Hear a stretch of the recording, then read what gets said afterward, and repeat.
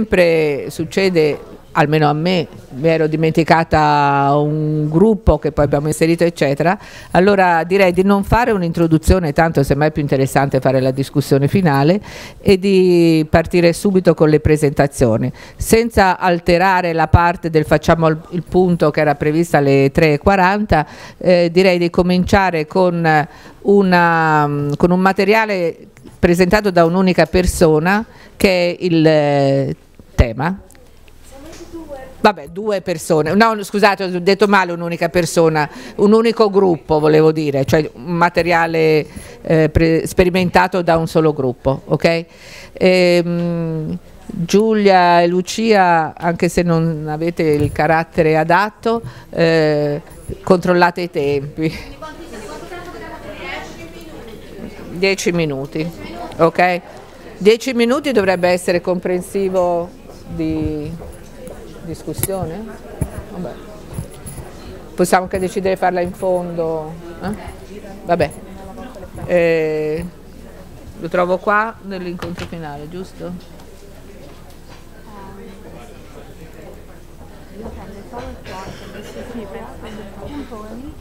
Sì, sì, ne abbiamo messi... PowerPoint va bene, se c'è anche il PDF.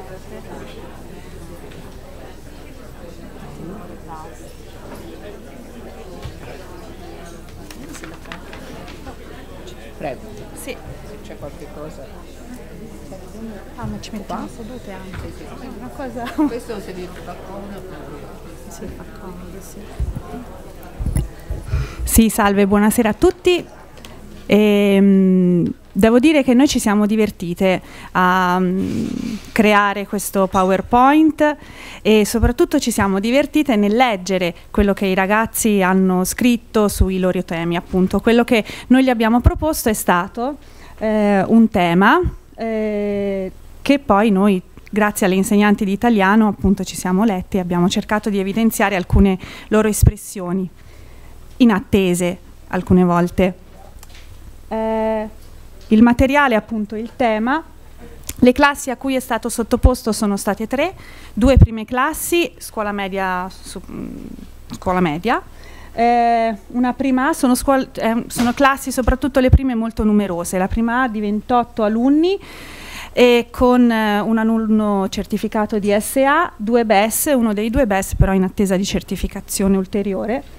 Eh, nella prima C abbiamo 27 alunni, eh, di cui 3 BES, e nella seconda C ehm, 18 alunni, questa è un pochino meno numerosa, con 3 BES. È stato carino anche vedere la differenza nelle risposte perché già in un anno si vede un aspetto più, più critico anche sull'approccio alla matematica.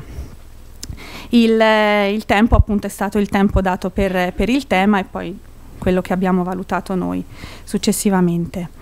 Ehm, il titolo del tema è stato per le classi C mm, io e la matematica. Che rapporto hai con questa materia? Con quale stato d'animo affronti un problema o svolgi un'espressione? Quali ostacoli eventualmente incontri? E spiega come possa questa disciplina esserti utile nella vita e quali competenze ti possa trasmettere. Mm, per la classe prima A invece il, tema, eh, il titolo del tema è stato breve, io e la matematica, quindi non è stato poi dato nessun suggerimento sul come svolgere il problema, ma sul come svolgere il tema, ma eh, i, le cose poi che sono uscite sono state le stesse. L'insegnante di italiano della C aveva invece proposto un tema più eh, articolato e quindi anche nel titolo dare dei suggerimenti sulle cose che poi avrebbero dovuto scrivere. Um, abbiamo organizzato appunto le, mh, le, le osservazioni nel mi piace, non mi piace la matematica e per molti eh, il fatto di eh, piacere e non piacere, quindi c'è l'aspetto emozionale che vivono.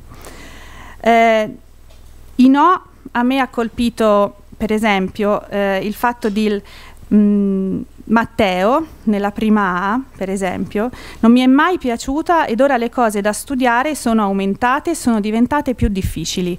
Quindi la matematica non è mai piaciuta perché magari non mi è mai riuscita, non l'ho mai capita più di tanto, di conseguenza non mi piace In più la differenza tra la scuola elementare e la scuola media è che nella scuola media devo studiare anche cose mh, più difficili che io capisco ancora meno, di conseguenza non mi piace, mi piace ancora meno di prima.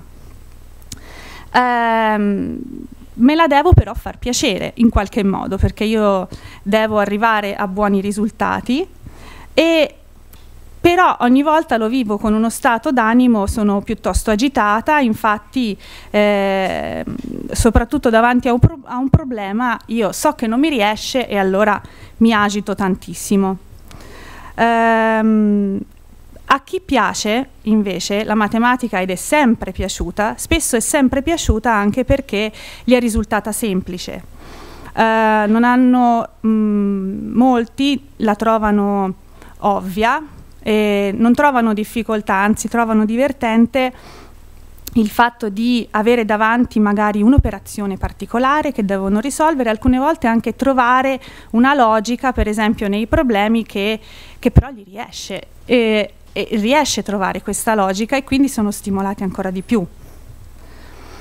Eh, una ragazza dice il mondo dei numeri, eh, per me eh, io sono una sognatrice e la matematica è lontana dal mio mondo. Eh, I numeri sono estranei e sono cose fredde e senza sentimento, quindi per me che sono una sognatrice proprio è lontano da me. Quindi quando ho il compito io eh, che, che, che li vedo lontani da me inizio ad avere forti palpitazioni. La matematica mi riesce, non mi riesce e eh, abbiamo organizzato sempre tra i sì e i no come autoefficacia, cioè mi riesce, non mi riesce, ma appunto eh, per i motivi di cui anche abbiamo parlato prima, un eh, ragazzo di SA, Elia, nella classe prima, eh, lo trovate qua, per me è sempre stata molto faticosa la matematica. Eh, non dice che non gli piace, la trova però molto faticosa e per lui è sempre un anche se fatico nel farla, però nel momento in cui mi si illumina il risultato e quindi anche il metodo, io mi diverto. Um, mi piace perché appunto per me, come dice Alessia, è sempre fa- stata facile, però non dico che è una materia tra le mie preferite. Mi piace, sono brava, ho nove, però non mi piace, non è quello che, che, che voglio continuare a studiare. Ehm, la Chiara di prima A, per esempio, è la materia che mi piace meno, perché anche se mi impegno prende sempre un brutto voto mi deprimo, mi ripeto di non essere brava e di essere una ragazzina da 5, quindi già associano la loro personalità al voto poi che ottengono, è sempre molto legato al voto che, che, che gli si dà, anche se non capiscono che il voto non è per la persona ma è per quello che hanno realizzato alcune volte. E eh, infine è semplice o non semplice e per questo passo la parola a Daniela. Siamo resi conto del tempo che passa. Allora, questa correlazione eh, talvolta semplice è sinonimo di mi piace e talvolta la matematica viene anche impersonificata. Quindi, eh, come nel primo caso di Carlotta, mi è piaciuta perché le cose erano più semplici alle elementari e, e ora mi piace di meno perché le cose si fanno difficili. E poi la matematica, Alessio dice che eh, ci odiamo, quindi come se matematica fosse un essere vivente e, e questo mi ha fatto sorridere, non me lo sarei mai aspettato perché va bene odiare la matematica, ma che la matematica possa odiare una persona mi risultava insomma nuova come idea non mi, so, insomma, non mi trattengo a leggerle tutte le, le, voci perché ci sono tante cose da dire. Comunque eh, questo fatto, come nell'ultimo caso in cui la matematica possa essere una nemica e, eh, che poi corrisponda all'odiarsi, eh, ci ha fatto appunto rif- riflettere. Non sempre c'è questa correlazione tra semplice sinonimo di mi piace, ci sono dei ragazzi che dicono che è proprio perché è troppo semplice che non mi piace, che mi annoio, però questo ragazzo è un ragazzo particolare che va veramente molto bene a matematica. La cosa che ci ha stupito più di tutti nel, nell'elaborare, nel leggere questi temi è stato l'aspetto dell'ansia, almeno noi non ci aspettavamo che fosse così rilevante l'ansia che emerge l'ansia legata sia al riuscire e al non riuscire, ma anche al confronto con gli altri, il temere il confronto degli altri. E quindi in tantissimi temi è emerso la tensione, la paura, eh, proprio hanno usato la parola l'ansia, che nasce anche dall'ambizione. Alcune persone si infuriano, si ritengono stupide, cioè no che si ritengono stupide, mi, scusatemi, hanno timore che gli altri credano che loro siano stupide Altre persone invece sono serene, eh, non vanno in ansia, eh, sono calme e, e purtroppo c'è mh, questo orientamento che le persone che in genere vanno bene a matematica sono quelle che poi sono serene e le persone che vanno male sono quelle che hanno, sono più in ansia, tranne almeno il caso di Viola che è una ragazza che va benissimo, ha una media altissima e, e qui è stato lo stupore maggiore, leggere la sua ansia che prevale dall'ambizione, perché comunque è una ragazza che va bene, che non ha problemi, non credevo fosse ansiosa. La matematica può dare anche allegria e questo ci consola. e sul discorso dell'utile tutti i ragazzi hanno la consapevolezza che la matematica sia utile e, e l'altra cosa che è emersa, che magari ci immaginavamo ma non fino a questo punto, è il ruolo centrale del docente e, e, purtroppo spesso la matematica piace se è l'insegnante che piace, almeno questo è quello che è emerso da questa piccola selezione di temi, che poi sono tre classi, non è numerosissima. Quindi insegnanti che non erano simpatiche hanno fatto sì che la matematica continuasse a non piacere e, o viceversa, docenti di matematica hanno avuto la bacchetta magica da far sì che la matematica piaccia un po' di più anche se non è proprio sempre così. Ci sono ragazzi che ritengono la matematica bellissima anche se la maestra non è brava, però è stato un caso su tantissimi temi, la maggior parte invece collegano l'amore per l'insegnante quasi all'amore per la matematica. E viceversa, ovviamente, se la matematica non riesce, hanno timore di essere antipatici all'insegnante. Per qualcuno è così. In questo caso eh, io e la matematica andiamo per metà d'accordo e metà no, per metà perché quando ero all'elementare ad insegnarmi matematica c'era una maestra che gli stavano antipatici i maschi. Riportato, abbiamo riportato le frasi così come erano. Quindi siccome alla maestra stanno antipatici i maschi, lui è un maschio, allora non mi piace la matematica.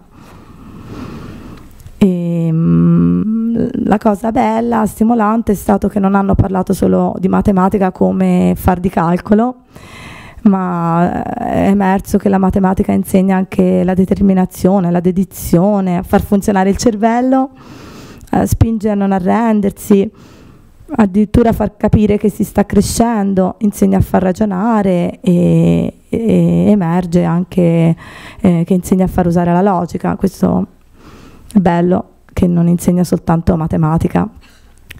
Poi ci sono una serie di temi, però ehm, non ve li leggo perché abbiamo già sforato, eh, in cui proprio i ragazzi dicono ciò, gli ostacoli che incontrano, questi appunto di sorvolo, e loro stessi sanno che tipo di aiuto potrebbero avere per migliorarsi. La valutazione dell'esperienza è l'unica su, su cui ci rifermiamo e, e, quindi quello che emerge è che mh, mm, è importante l'insegnante, ha un ruolo centrale e, e, soprattutto è importante la relazione, probabilmente per quanto mi riguarda eh, cercherò di snellirla questa ansia che evidentemente emerge in classe. La criticità è il tema, anch'io come la professoressa Pontone avevo detto all'insegnante di italiano, avevo chiesto di fare il tema io e la matematica, però l'insegnante ha emerso dei sotto argomenti che però possono essere d'aiuto oppure possono indirizzare troppo le risposte, non, non è detto che sia una cosa positiva. Quindi ci aspettavamo la correlazione tra riuscire e piacere e non questa ansia così netta. Grazie.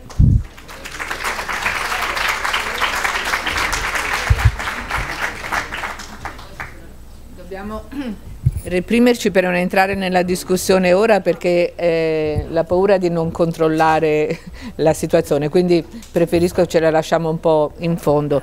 Eh, mi limito a riprendere mentre intanto si presentano quelli del, del gruppo successivo. Del, facciamo il punto. Eh, sì, questo discorso del titolo così modificato, eh, insomma, non è che sia tanto positivo, no? quindi certamente se l'insegnante di italiano poi, che è quello che lo fa, eh, decide di farlo così, non è che, che, che abbiamo tanta voce in capitolo, però è molto meglio un titolo più aperto che non indirizza eccetera insomma un po' ironicamente mi verrebbe da dire che quel titolo riflette la visione della matematica dell'insegnante di italiano ecco. no? Va bene, abbiamo già perso il secondo. Ah no, scusate, sono io. Va bene. Prego.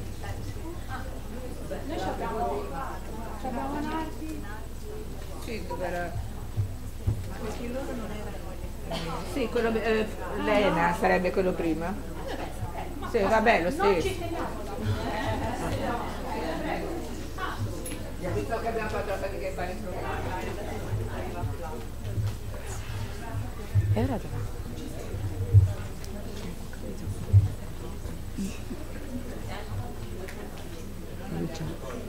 Eh, dove ci avevi messo? Incontro finale. Scusate, mi trovo immediatamente. Facciamo il punto. Lena. Elena. Ok. Presentazione. Definitiva. Pronti. Mm. Facciamo a schermo intero. Siete pronti. Se mi, mi lanciate un occhio vi dico quando mancano tre minuti. Perfetto. Ok, vai. Allora, salve a tutti. Eh, dunque, noi abbiamo preparato una, abbiamo preparato una, una scheda di facciamo il punto modificando un po' l'originale e l'abbiamo proposta a una terza media, una, una, classe di terza media, alcune terze, diciamo, alcune eh, classi, quattro in tutto. E poi abbiamo preso un po' questi risultati random. Dunque, eh, questa è la verifica che abbiamo dato sulle equazioni di primo grado, quindi abbiamo preso un argomento che si svolge in genere nel secondo quadrimestre e mh, mm, abbiamo proposto questa verifica con eh, una prima parte che riguardava appunto un aspetto teorico, i principi di equivalenza e poi nell'ultima parte svolgere due equazioni visto che questo viene richiesto poi all'esame di Stato, un'equazione a termini interi un'altra a frazioni e eh, a questo punto, data la verifica, eh, abbiamo proposto poi il questionario. Questo dato prima della correzione della verifica, a termine del compito dovevano farlo e a parte nel questionario come ti sembra di aver fatto, la seconda parte che riguarda appunto l'indicazione esercizio per esercizio delle loro eventuali difficoltà e nell'ultima parte le abbiamo chiesto se questi esercizi li avevano eh, ritrovati in classe, se era più difficile, più facile. E qui io abbiamo costruito un pochino il materiale. Eh, la seconda parte è quella più modificata rispetto all'originale visto nel corso e qui ecco, abbiamo cercato di ampliare un pochino le domande relative alle loro impressioni e cercare di tenere fuori un po' l'autocritica verso il loro studio, cosa fanno, cosa non gli è riuscito. E questo è quello che è emerso. Sicuramente hanno mostrato molte difficoltà a spiegare cosa non riuscivano a fare, usare il linguaggio corretto, matematico, usavano un linguaggio molto semplice. Però la cosa interessante è che emersa comunque questa volontà di eh, mettersi in discussione e anche di autocritica verso quelli che è il loro comportamento per la maggior parte, ecco poi ci sono ovviamente ragazzi bravi che gli piace studiare eccetera, però magari vista l'età e altre motivazioni tendono un po' a allontanarsi dal, dal problema tra non studiare, cercare di copiarlo eccetera, quindi eh, l'autocritica verso certi loro atteggiamenti è emersa. Per esempio prima della correzione su facciamo il punto come ti sembra di aver fatto Sì, in genere c'è sempre questa correlazione. Faccio, mi sembra di aver fatto bene anche perché ho svolto il compito velocemente, eh, perché insomma le cose mi sono tornate, magari perché si confrontano fra di loro e poi c'è chi ha un atteggiamento ovviamente sempre negativo, ho una testa dura, odio la matematica, mi deconcentro facilmente, quindi eh, partire già un po' eh, sconfitto e, e, altri che magari ritrovano nell'esercizio quello che viene proposto un po' la continuità con, con quello che si, fa, che si, fa, in classe. Eh, anche qui eh, come ti sembra di aver fatto non so perché è sempre così chi non si sa in qualche maniera valutare eh, ho fatto tutti gli esercizi, sono sicura di averli fatti bene, ecco, però non è, non è facile per loro già a questo livello un po', mh, tanti sono molto positivi, poi in realtà andando a correggere la verifica purtroppo non è così e invece altri magari hanno il dubbio e poi così male non sono andati. Premetto che noi abbiamo eh, provato questo su una terza media, eh, senza che queste classi venissero mai da un lavoro del genere precedente. Ci siamo resi conto di come in realtà questo sia importante farlo da subito, perché come è emerso poi in questa parte del questionario, pochissimi sono riusciti a identificare con termini corretti quali siano effettivamente le loro difficoltà, quindi anche chi come questa che ha risposto, il compito non l'ha fatto male, però là dove ha fatto errori non sapeva assolutamente indicare che cosa riguardassero. Faccio un esempio, la proprietà distributiva, i principi di equivalenza, ecco, questa terminologia non gli era poi eh, così facile da esprimere. Eh, alcuni ci hanno provato nella formulazione, magari nella formulazione della domanda, eccetera. Non ricordo bene i passaggi, anche qui però è questo linguaggio estremamente semplice, diretto, che ovviamente eh, va tenuto in considerazione. Altri si sono limitati a esprimere le loro impressioni, quindi qui per esempio non sono sicura, l'insicurezza, ma ecco, non, non emerge poi quello che noi invece volevamo un po' più con esattezza. Qui c'è il prima e dopo, qualche ragazzo effettivamente dopo la correzione della verifica gli è stato chiesto di eh, compilare il questionario sulle impressioni avute e dalla correzione eccetera ecco, è iniziato già a emergere dove erano state presenti le sue carenze per esempio in questo caso questo ragazzo ha proprio indicato che non aveva capito la proprietà distributiva e quindi si era reso conto degli errori fatti. Se vuoi fare, tanto un'altra scheda.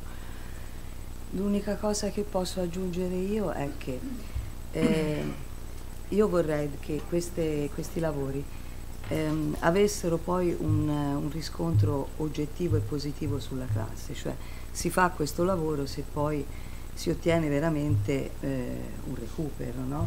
cioè se mi serve per ottenere un risultato.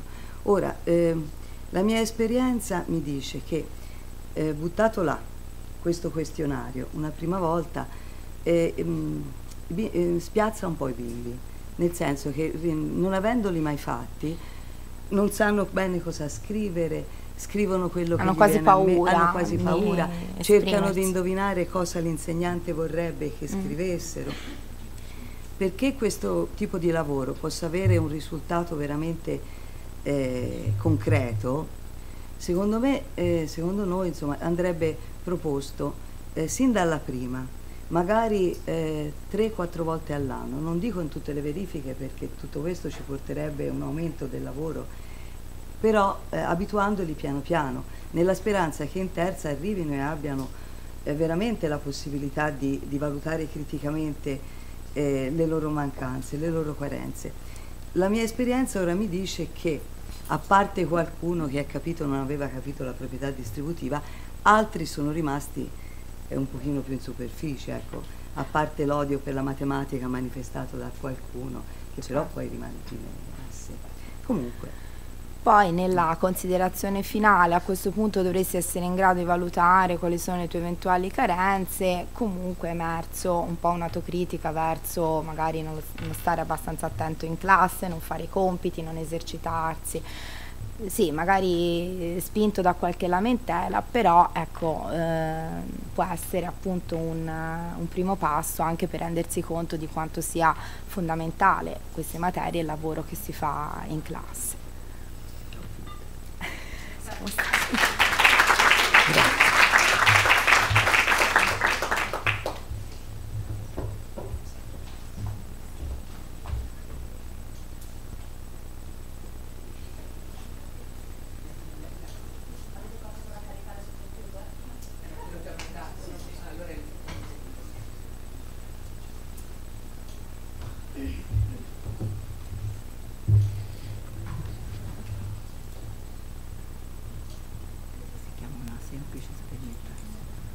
Mm, un cognome? Nanti. Perfetto. Tac.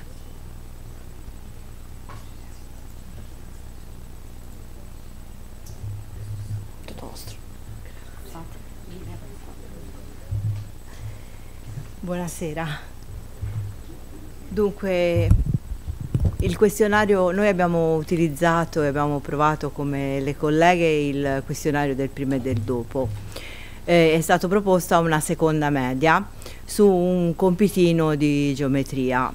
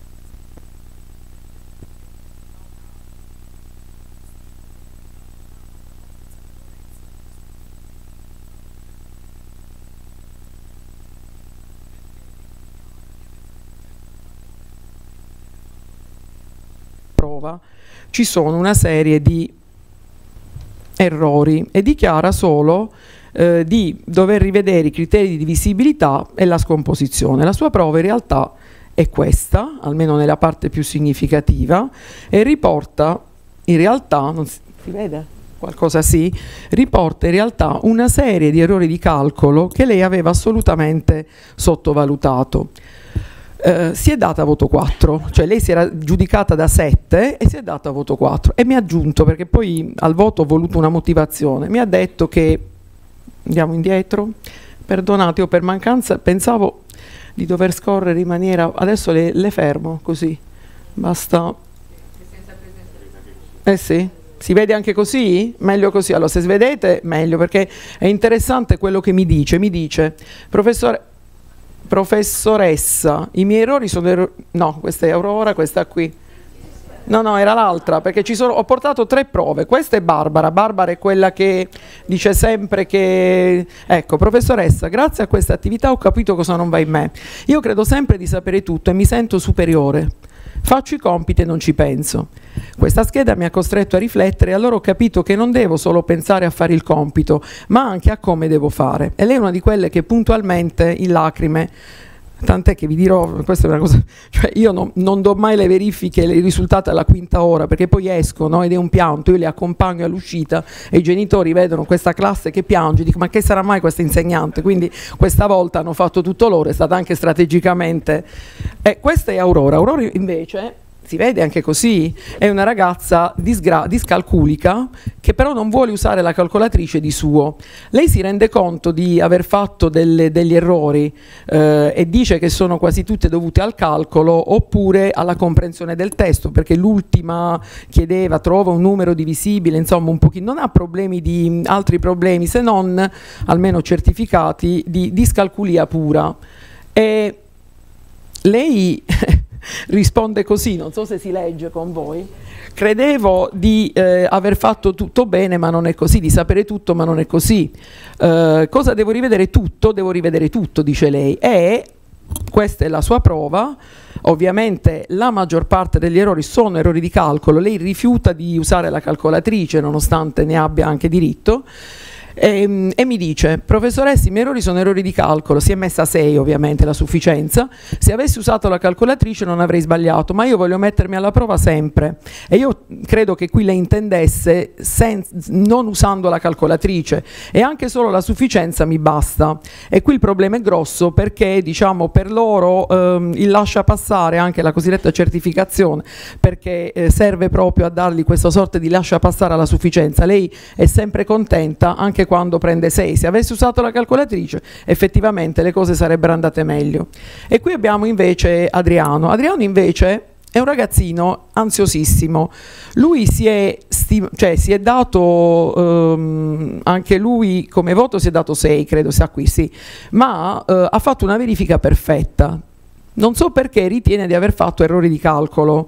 In realtà Adriano ha svolto la prova completamente e anche bene, e il commento è stato credevo di non sapere fare nulla, non so che dire, anche perché, anche perché, devo dire la verità, hanno trovato questa parte invece un po' difficile, quasi nessuno ha risposto quando avrebbe dovuto dire sei stato in grado di affrontare, eh, di elencare le difficoltà. Quindi lui dice non so che dire, si è dato voto 8 ma l'ha scritto con la matita. perché io gliel'ho fatto, cioè dicevo mettete liberamente il vostro voto anche a penna ed è, e questo anche è una cosa che mi, mi piace, abituarli all'autovalutazione seria. E le conclusioni.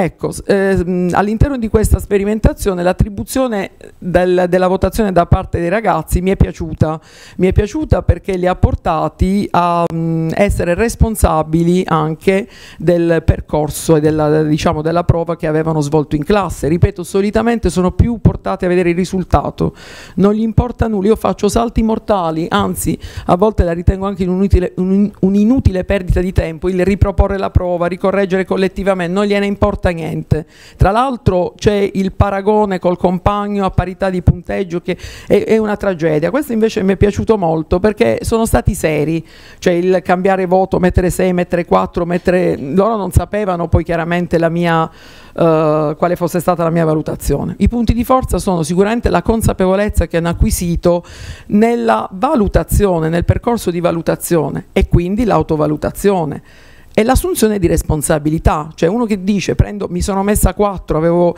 avevo pensato di prendere 6 perché evidentemente non ho capito granché, per me è stata un'assunzione di responsabilità e un comportamento che per un, bambini di classe prima, poi di quel tipo, non mi aspettavo.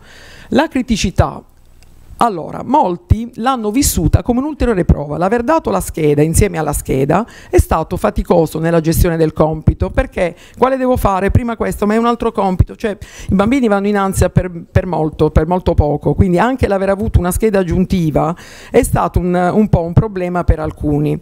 Per cui mi chiedevo, ma questo lo, lo pongo come punto di, di, domanda, se per caso si, si prendono tutti i compiti, cioè nell'ambito, magari le verifiche, se i quesiti, ma anche meno vanno bene, bene, si toglie il compito, lo si fa consegnare e poi forse gliela si consegna subito dopo, lasciando quei 10 minuti di tempo per farli consegnare subito e compilare subito la scheda.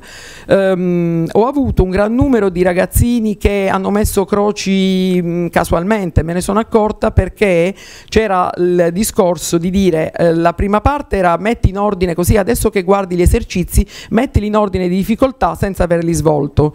Quando poi li hai svolti rimetti mettili nell'ordine di difficoltà che hai incontrato e mh, mm, era la stessa, cioè anche laddove mi, avrei dovuto avere il risultato ribaltato dopo che hai risolto, quindi quel quesito probabilmente era anche inutile, io l'ho voluto inserire ma forse era anche inutile.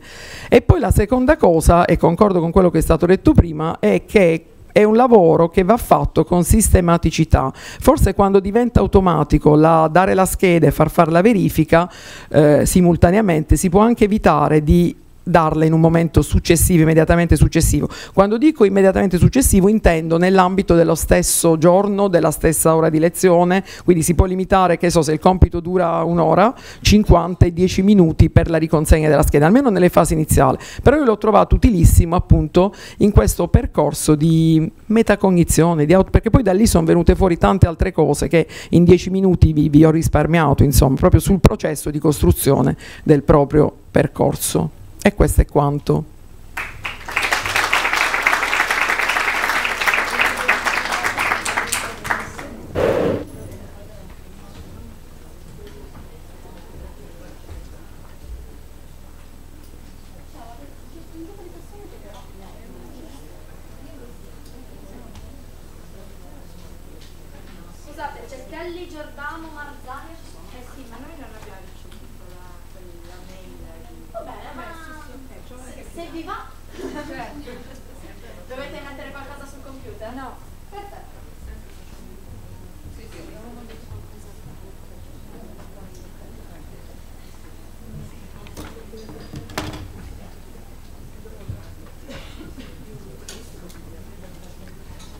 Dunque, noi siamo tre insegnanti eh, che lavorano sulla città di Massa, ma su tre scuole diverse. Io sono sul liceo linguistico, la collega sul liceo classico e liceo scientifico. Eh, noi due abbiamo lavorato sulla prima classe e la collega sulla seconda classe del liceo scientifico. Eh, abbiamo mh, mm, lavorato sulla scheda mh, mm, Facciamo il punto, facciamo il punto eh, però è una scheda che abbiamo cominciato a provare fin da febbraio, cioè fin dal primo incontro eh, che abbiamo avuto qui. E, sì, effettivamente la prima volta è stato insomma, far capire ai ragazzi come dovevano usarla questa scheda ma non solo, noi l'abbiamo usata sia mh, nella prova formativa che nella prova sommativa. Eh, nel, modificandola un momentino, cioè nella, prova, nella scheda formativa avevamo messo anche le indicazioni, quindi una scelta multipla di come avrebbero potuto rispondere alle nostre domande. Eh, nella sommativa no perché pensavamo che bastasse la formativa per indirizzarli e far capire come avrebbero potuto rispondere. E questo invece non è successo perché, così come avete visto con l'altra collega, lasciano effettivamente questa parte bianca sulla motivazione, non riescono a completarla. E quindi forse un'idea potrebbe essere quella di riproporre almeno per un certo periodo di tempo riproporre una scelta multipla anche nella sommativa. Eh, vi leggo un attimo.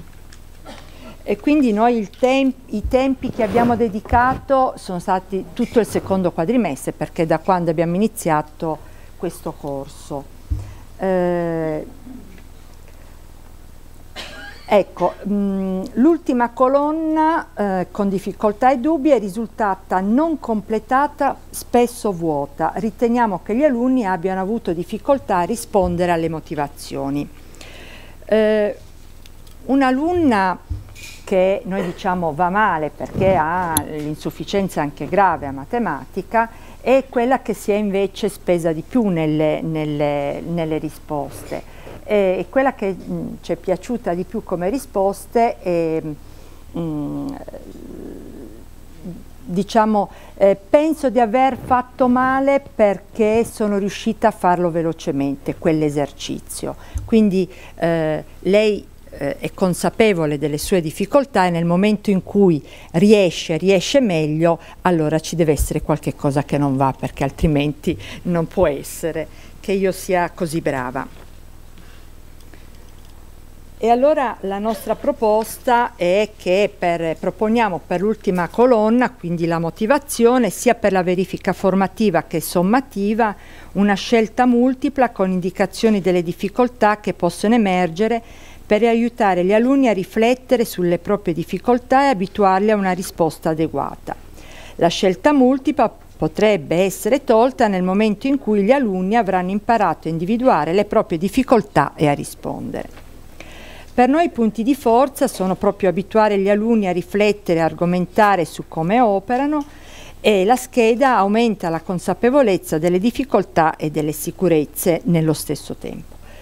Le criticità, mh, mm, ecco, noi abbiamo trovato nella scheda da proporre nella prova formativa, quindi la prima scheda, quella prima della, della verifica stessa, eh, mancano le indicazioni scritte sul tipo di lavoro individuale per il recupero prima di affrontare la verifica sommativa, perché noi sì, chiediamo come pensi di aver fatto, pensi di aver fatto bene o male, che cosa dovresti fare, eccetera, ma non suggeriamo in quella scheda il lavoro da fare poi a casa. E quindi eh, o aumentiamo una colonna dove ad ogni tipo di esercizio diciamo guarda mm, se pensi di aver fatto male vai a tale pagina, tali sono gli esercizi che devi rifare eh, gli argomenti che devi riprendere, cioè non c'è sulla scheda un suggerimento vero e proprio della, del lavoro che dovrebbero fare a casa. Sì, non è neanche facile perché il, diciamo, le difficoltà possono essere di varia natura, appunto o dalla comprensione del testo oppure quando, se il ragazzo, qualora il ragazzo si renda conto che la difficoltà è dovuta a mancanza di studio, allora l'indicazione di dire guarda vai a rivedere queste cose perché a volte i ragazzi non sanno neanche dove andare a ricercare quell'argomento quindi per recuperare le conoscenze relative a quel determinato tema comunque come ha detto la collega eh, l'esperienza è stata positiva perché i ragazzi si, eh, davvero um, eh, si rendono conto eh, che fare un compito, fare una verifica eh, è una cosa che serve a loro più che a noi docenti. E quindi la, la vivono un po' meno come, eh, come diciamo ehm, calata dall'alto e, e quindi serve a loro come autovalutazione e poi anche la rivelazione dell'errore non è così drammatico perché cioè, uno deve vedere, deve rilevare, deve essere consapevole e siamo lì, siamo lì noi docenti per aiutare a superarli. E quindi ehm, cioè, è servito almeno l'esperienza della mia classe che anche ragazzini che avevano eh, più difficoltà e quasi nell'ora di matematica eh, se ne stavano buoni, zitti, calmi perché avevano paura qua di intervenire, non erano coinvolti nella lezione, invece erano più partecipi. Questa è stata la mia esperienza.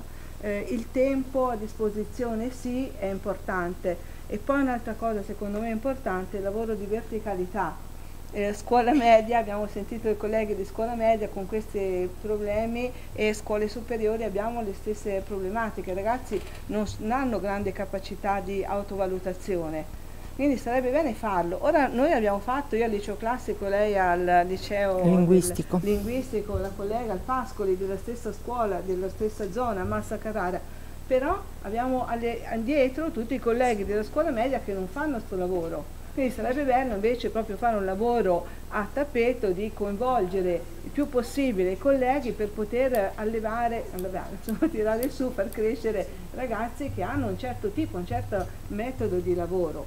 Perché se no siamo sempre lì a lavorare a pezzettini. No? Vabbè. Vabbè.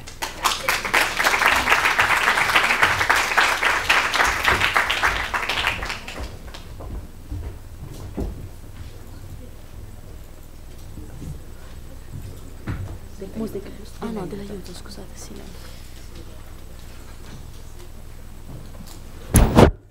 Uè.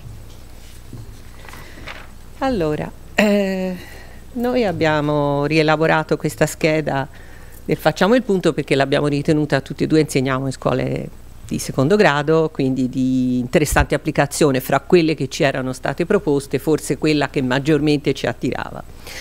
Ehm, io in particolare l'ho applicata, insegno in un liceo di scienze umane, eh, a un compito di seconda. Questo è un compito fatto su, lo dice il titolo, sulle scomposizioni di un polinomio, se vuoi far scorrere così, fai scorrere, eh, di una scomposizione di un polinomio. Eh, il testo richiedeva, c'era un primo esercizio, eccolo lì, un primo esercizio No, non scorre. Sì? Un primo esercizio che era scomposizioni di polinomi, un secondo che chiedeva di semplificare le frazioni, un classico, un terzo calcolo di espressioni con le frazioni e poi c'erano due cose un pochino più strane, uno che era un quesito, mh, sapendo che quanto vale, quindi vedere di applicare e poi un problema, qui non ci sono le figure, dove c'erano due figure geometriche irregolari naturalmente, eh, con i lati, con le lettere e dovevano calcolare l'area di uno e l'area dell'altro che poi veniva una frazione semplificabile, quindi e semplificarla, va bene? Allora, eh, ecco qua, dunque la scheda, eccola qui, quella qui 21 febbraio, mm, dunque l'abbiamo chiamata subito come ti sembra di aver fatto perché ci sembrava più che andasse subito al punto. Eh? Non si vede però molto bene, sì, si vede? Perfetto. Allora, come ti sembra di aver fatto? E noi abbiamo lasciato le voci che c'erano state proposte, non lo so, molto male, male, così e così, abbastanza male, bene. Su cosa basi la tua valutazione? Ecco, la variazione dalla scheda che c'era stata proposta è che nella colonna di destra, invece di lasciare gli spazi bianchi, come già qualcuno ha detto, ci abbiamo messo delle voci precise eh, per guidare un pochino di più, conoscendo un po' i nostri alunni che sono sempre un po' indecisi. Eh.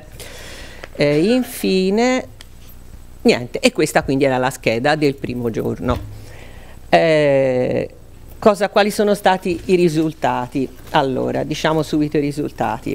Mm, intanto la, la prova si svolgeva in un'ora, e io in accordo col collega che c'era nell'ora successiva gli ho detto guarda mi dai 5 minuti, 10 minuti dei tuoi, quindi i ragazzi hanno consegnato tranquillamente senza sapere che poi ci sarebbe stato questo proseguo.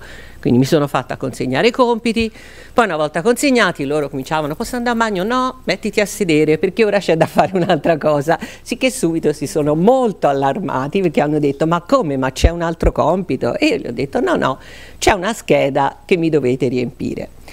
Eh, questa scheda secondo me non l'hanno forse letta con la dovuta attenzione anche perché c'è un po' il rilassamento no? dopo il compito quindi e anzi hanno chiesto a me ripetutamente, no? ma cosa devo fare, ma ci devo fare le crocette, ma cosa ci devo scrivere, ma ci devo scrivere cosa ho fatto, quanto mi torna, ci devo scrivere quanto mi torna, gli ho detto ma l'hai letto cosa c'è scritto, no? Cioè mi sono anche dovuta un pochino accalorare.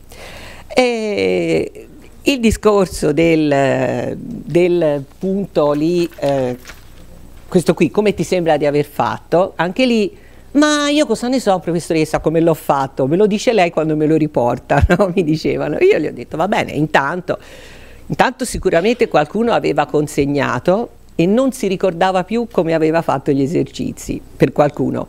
Ah, ma me lo può ridare che io vedo? No, non te lo posso ridare perché io voglio sapere cosa ti ricordi anche di quello che hai fatto, no? Quindi già questa era la prima difficoltà.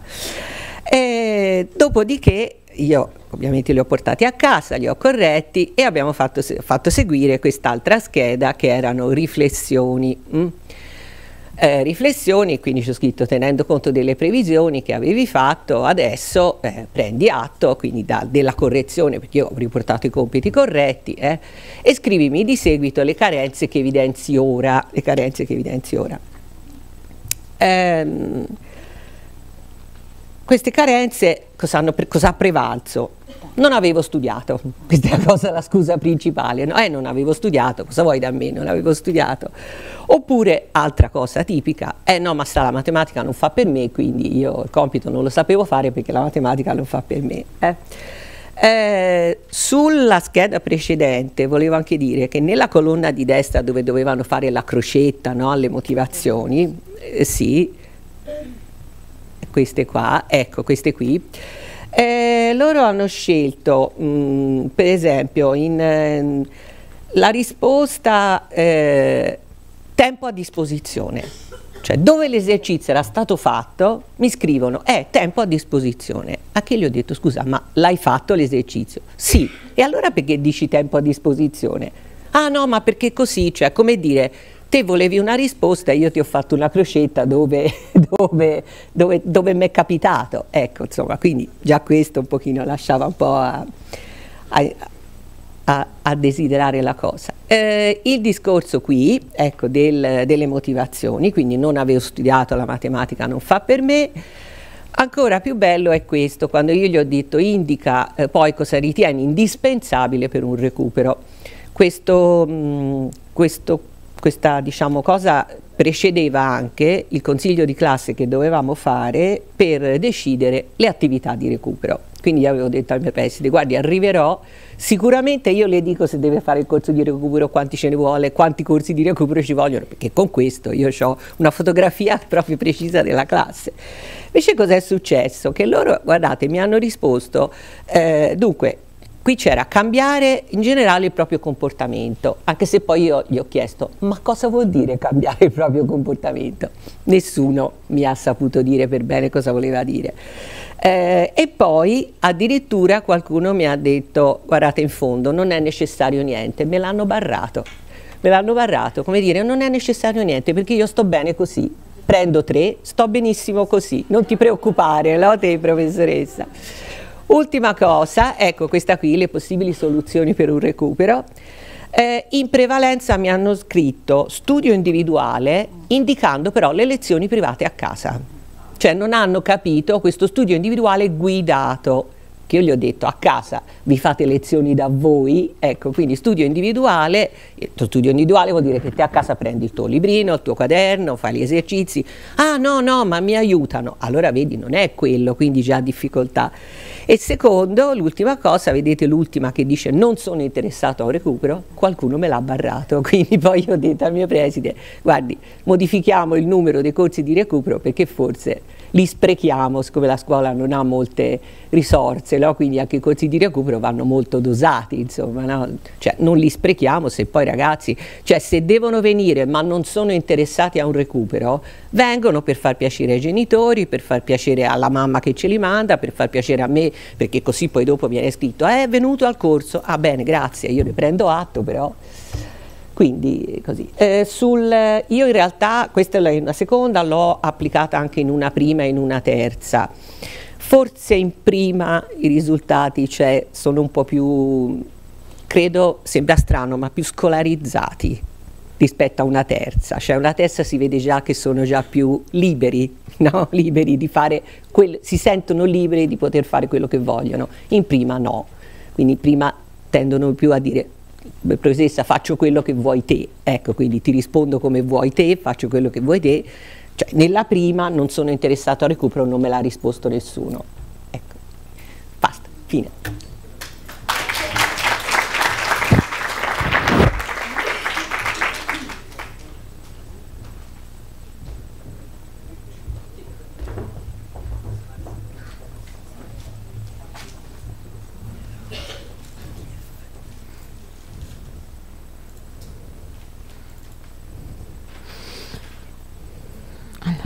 Facciamo così.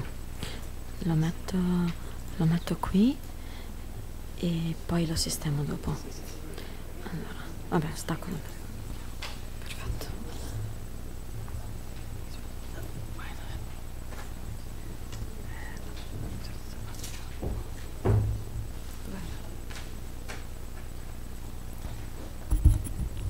Allora, io vi presento la mia attività, devo fare una breve premessa. Eh, io vabbè, ho insegnato matematica nelle scuole secondarie superiori, per il momento sto insegnando fisica e ho deciso di frequentare il corso perché, eh, secondo, perché ho visto che i ragazzi hanno difficoltà con uh, la matematica, cioè la difficoltà in fisica partono principalmente dalla matematica, diciamo difficoltà che avevo già trovato durante le, gli anni di insegnamento di matematica. Quindi le, vabbè, dovevamo fare due diversi tipi di sperimentazioni, ma alla fine nel gruppo presentiamo solo l'attività che ho fatto sulla fisica l'attività è stata svolta in una classe di primo anno del, dell'Istituto Tecnico Industriale e appunto la sperimentazione in fisica, questo mi piacerebbe mh, mm, proprio, eh, siccome molti colleghi della scuola secondaria superiore sono, fanno anche, fan, alcuni faranno anche matematica e fisica, questo tipo di attività è utile anche per quanto riguarda la fisica, ora vi farò vedere un pochino quello che ho scritto e i risultati ottenuti. Quindi le motivazioni principali sono eh, legate al fatto che la matematica è uno strumento fondamentale per la fisica, cioè non, non si può fare fisica senza la matematica e rappresenta uno degli ostacoli grossi per, principali per, per, studi per, gli studenti. I voti in matematica e fisica sono correlati, non esiste uno studente che è bravo in fisica e va male in matematica e viceversa. Cioè, e, e gli studenti hanno tante difficoltà su argomenti di matematica, ad esempio, le, quelle che loro chiamano le formule inverse cioè loro hanno bisogno di avere tutte le formule scritte, dalla formula principale mi chiedono le formule. Quindi vabbè, eh, non c'è bisogno che vi dico cos'è, frazioni, le, vabbè, hanno difficoltà le potenze, l'interpretazione dei grafici cartesiani, che per noi cioè in fisica sono molto importanti, poi la comprensione e l'interpretazione dei problemi, perché eh, questa è una, una difficoltà generale con le materie scientifiche e con la matematica. E, e, quindi ho ritenuto appunto molto importante il materiale eh, presentato, quindi non solo per la matematica se dovessi mh, insegnare matematica nei prossimi anni, ma anche proprio per, solo per il recupero della fisica. Quindi ho proposto appunto la, la scheda Facciamo il punto eh, al termine di una verifica sommativa sulla parte di statica dei corpi rigidi e le leve. E, diciamo, le equazioni che devo utilizzare erano, erano semplici, giusto la, la parte della formula sul momento di una forza e l'equazione dell'equilibrio per le leve. E la scheda è stata leggermente modificata per ridurre il testo rendere più semplice la lettura perché gli studenti si perdono, quindi ho trovato un po' lunga, anzi forse, forse sarebbe il caso di semplificarla di più. E questo è lo schema, appunto, è, diciamo, ho solo semplificato la parte, eh, la, il punto 2, no? nella tabella che segue, giusto la spiegazione, e poi ho mantenuto lo stesso schema e avevo detto di non compilare il punto 3 L'unica, eh, diciamo, scelta che ho fatto è quella di eh, dare il compito e la scheda, però a un certo punto, dopo un'ora, ho ritirato, io avevo due ore a disposizione, ho ritirato i compiti, cioè loro verifiche, ho lasciato solo il testo degli esercizi e la scheda. Quindi loro si sono concentrati sullo svolgimento, cioè ormai avevano già finito il compito, non potevano più fare niente, si sono concentrati solo sulla compilazione della scheda, quindi diciamo, hanno risposto in modo abbastanza eh, completo, anche se erano un po' agitati dalla fine della, della verifica. Allora, i risultati eh, sono che appunto c'erano 22 alunni presenti, tutte le schede sono state compilate, già secondo me è un risultato, poi considerato la classe che è un po' problematica. Io ho analizzato un po' quelle, quella che è stata la loro valutazione rispetto a quella che poi è stato il voto finale e in 14 casi su 22 c'era una corrispondenza, cioè il voto, quando dicevano abbastanza bene, poi in effetti la valutazione era positiva, due ragazzi su 22 non, non, sono stati in grado di valutare, quindi una classe di primo anno mi aspettavo insomma, che tutti rispondessero anche così così, che può essere una valutazione intermedia. Invece due ragazzi non hanno dato una valutazione, hanno scritto non lo so. In sei casi la valutazione dell'alunno era completamente diversa eh, da, da, quella dell'insegnante, cioè un ragazzo che ha preso una sufficienza piena dopo aver avuto insufficienza per tutto l'anno, ha detto ma penso di averlo fatto così così, quindi molto insicuro, ha mostrato molta insicurezza.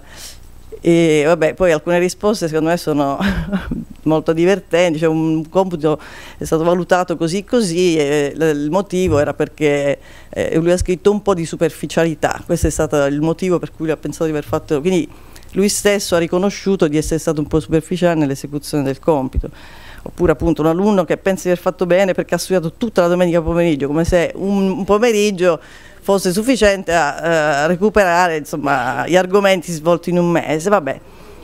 E quello che ho trovato interessante è che vabbè, solo 9 alunni su 22 hanno compilato la colonna di destra, quindi quella sui dubbi e le difficoltà, quindi descrivendo un argomento specifico, quindi appunto ho indicato, beh, hanno scritto appunto coppia di forze, guadagno, disegnare le forze, i vettori o i problemi, il, il testo del problema.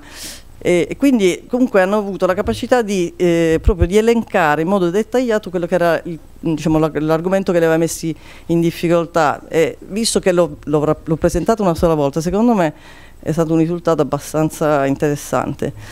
E poi un'altra cosa, io avevo chiesto di non compilare, avevo detto, poi loro ovviamente non, hanno, non, ci hanno fatto caso, di non compilare l'ultimo punto della scheda, quello delle carenze, perché volevo farlo compilare alla fine della alla consegna dei compiti. Però secondo me le risposte appunto sono state interessanti perché qualcuno, qualcuno ha detto che ha avuto difficoltà nella comprensione del testo, quindi insomma ha formalizzato dei problemi che che, che, ha incontrato, ho avuto difficoltà, difficoltà, a ricordare le formule perché mi confondo. Anche questa cosa qui, il fatto che cioè, ricordare le formule, quindi significa che uno non le ha capite, le memorizza e fa fatica a ricordarle. E poi un alunno che ha scritto lo studio la, come carenze, lo studio, la memoria e la capacità di concentrazione. Ci ha fatto un elenco che ora tentare di recuperare questi tre problemi, insomma, però secondo me appunto come diciamo, considerazioni finali sui punti eh, di forza. Secondo me l'attività, questa attività è molto utile, però in di, nella fase di discussione della, nella fase di discussione dell'argomento, io lo farei alla fine di una verifica formativa perché se voglio, cioè per recuperare le carenze, mentre non il, cioè non dopo aver dato il, il, compito quello finale, ma prima, in modo da capire quali sono i punti deboli che a volte loro non riescono a focalizzare durante le spiegazioni, e, e poi, mh, quindi è importante perché sono stati costretti a valutare eh, la loro preparazione e le loro difficoltà. E, mentre, mentre, è importante farlo in una fase di costruzione delle conoscenze, non quando vengono valutati. E poi secondo me sono rimasti un po' spiazzati, anche se io l'ho dato alla fine del compito, però fatto una volta sola è un po' insomma è poco significativo, cioè loro hanno avuto un po' di difficoltà. Se invece venisse eh, somministrato questo test alla fine io non dico di ogni verifica, ma due, tre, cioè tre, quattro, cinque volte l'anno, sarebbe sicuramente molto più semplice per loro dopo la prima volta ottenere dei risultati importanti. Quindi secondo me questa è la cosa, la cosa utile. Va bene, grazie.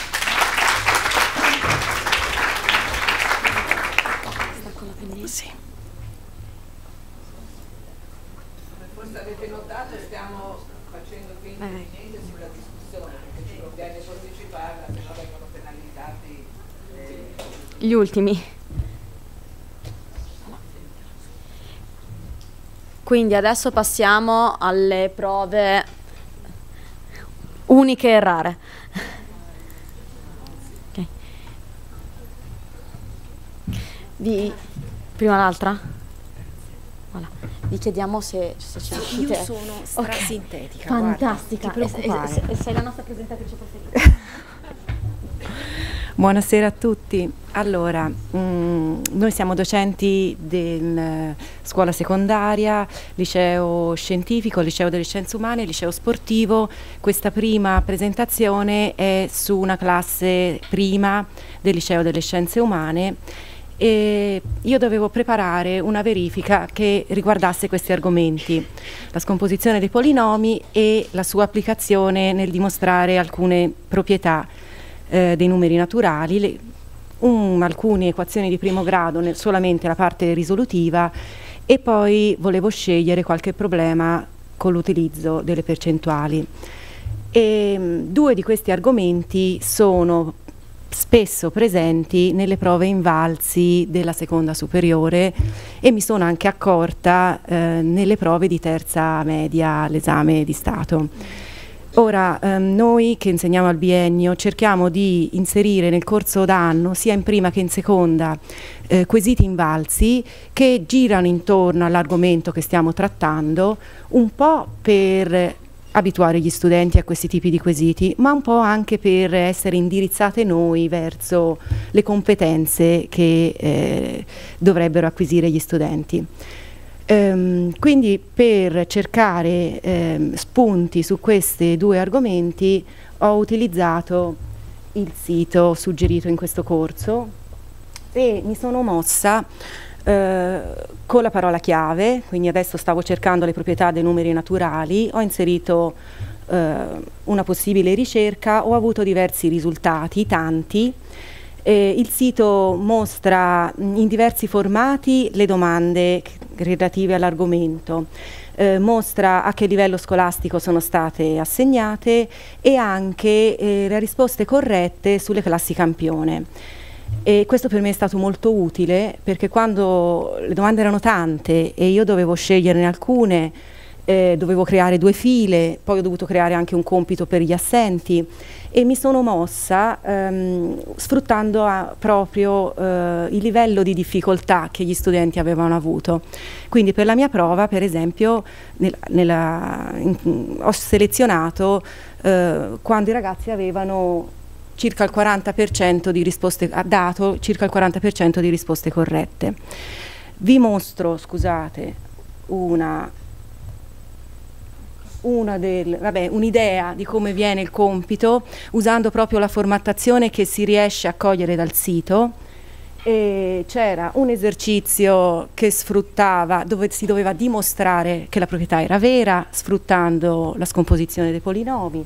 Un esercizio in cui invece si doveva dimostrare che la proprietà elencata era falsa e quindi dovevano mostrare un controesempio, poi parte tecnica sulle scomposizioni e sulle equazioni, l'ultimo, voi non ci leggete nulla, ma è solo per farvi vedere come si riesce a coglierlo dal sito eh, e si riesce anche a modificarlo eh, se si vuole aggiungere, giustifica la risposta. Eh, l'ultimo era un problema sulle percentuali e ehm, per me è stato ottimo scoprire questo sito perché a ogni compito fino adesso cercare quesiti invalsi voleva dire aprire tutti i file PDF degli anni passati e usare la funzione ritaglio.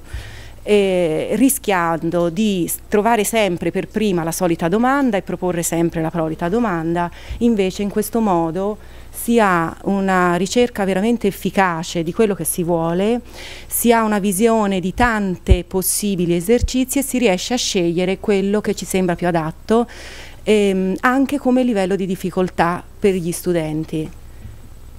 E così ho già finito la prima parte.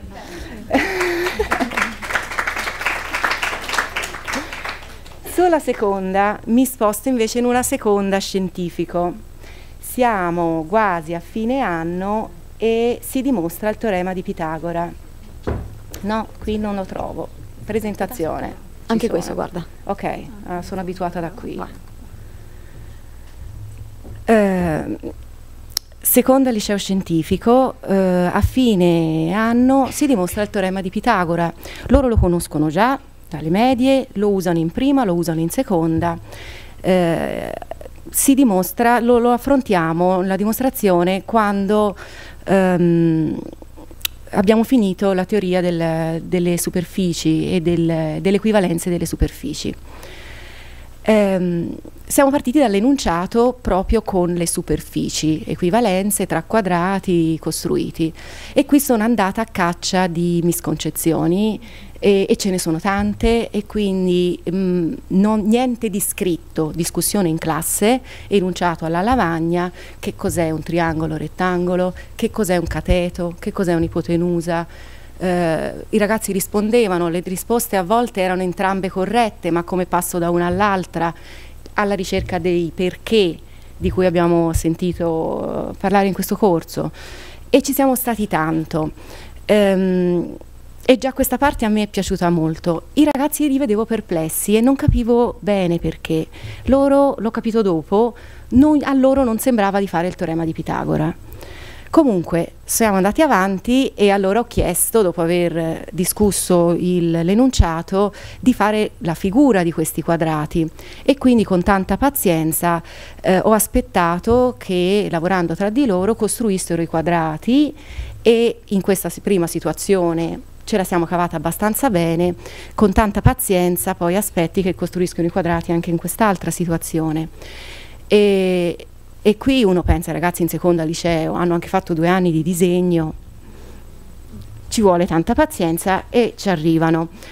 Eh, poi con il righello, allora misurami queste aree, mi calcoli le aree e sono sorpresi di vedere che effettivamente anche con la misura torna che la somma delle due aree è proprio quella. Solo a questo punto eh, siamo passati a esprimere l'enunciato in linguaggio algebrico. Quindi abbiamo inserito A, B e C, scrivetemi l'uguaglianza con le aree. Qui metà classe un po' si è illuminata, ha detto ah ma forse è il teorema di Pitagora questo, ma solo metà, perché ehm, per essere convinti che fosse proprio il teorema di Pitagora loro vogliono la radice quadrata. Per loro non è il teorema di Pitagora e nonostante tutto anche alla fine di questa sperimentazione loro cercano di usare sempre Pitagora con questa radice quadrata che in seconda può essere un problema, sarebbe meglio scansarla quando possibile. Ehm, siamo stati sull'enunciato, poi siamo passati a varie dimostrazioni. Anche questo discussione in classe. Io ho presentato questa figura, io ho detto questa è la dimostrazione, trovatemela. Un po' di perplessità e poi si sono messi, ho chiesto ma c'è il triangolo rettangolo qui, cercatelo e iniziano a vederne.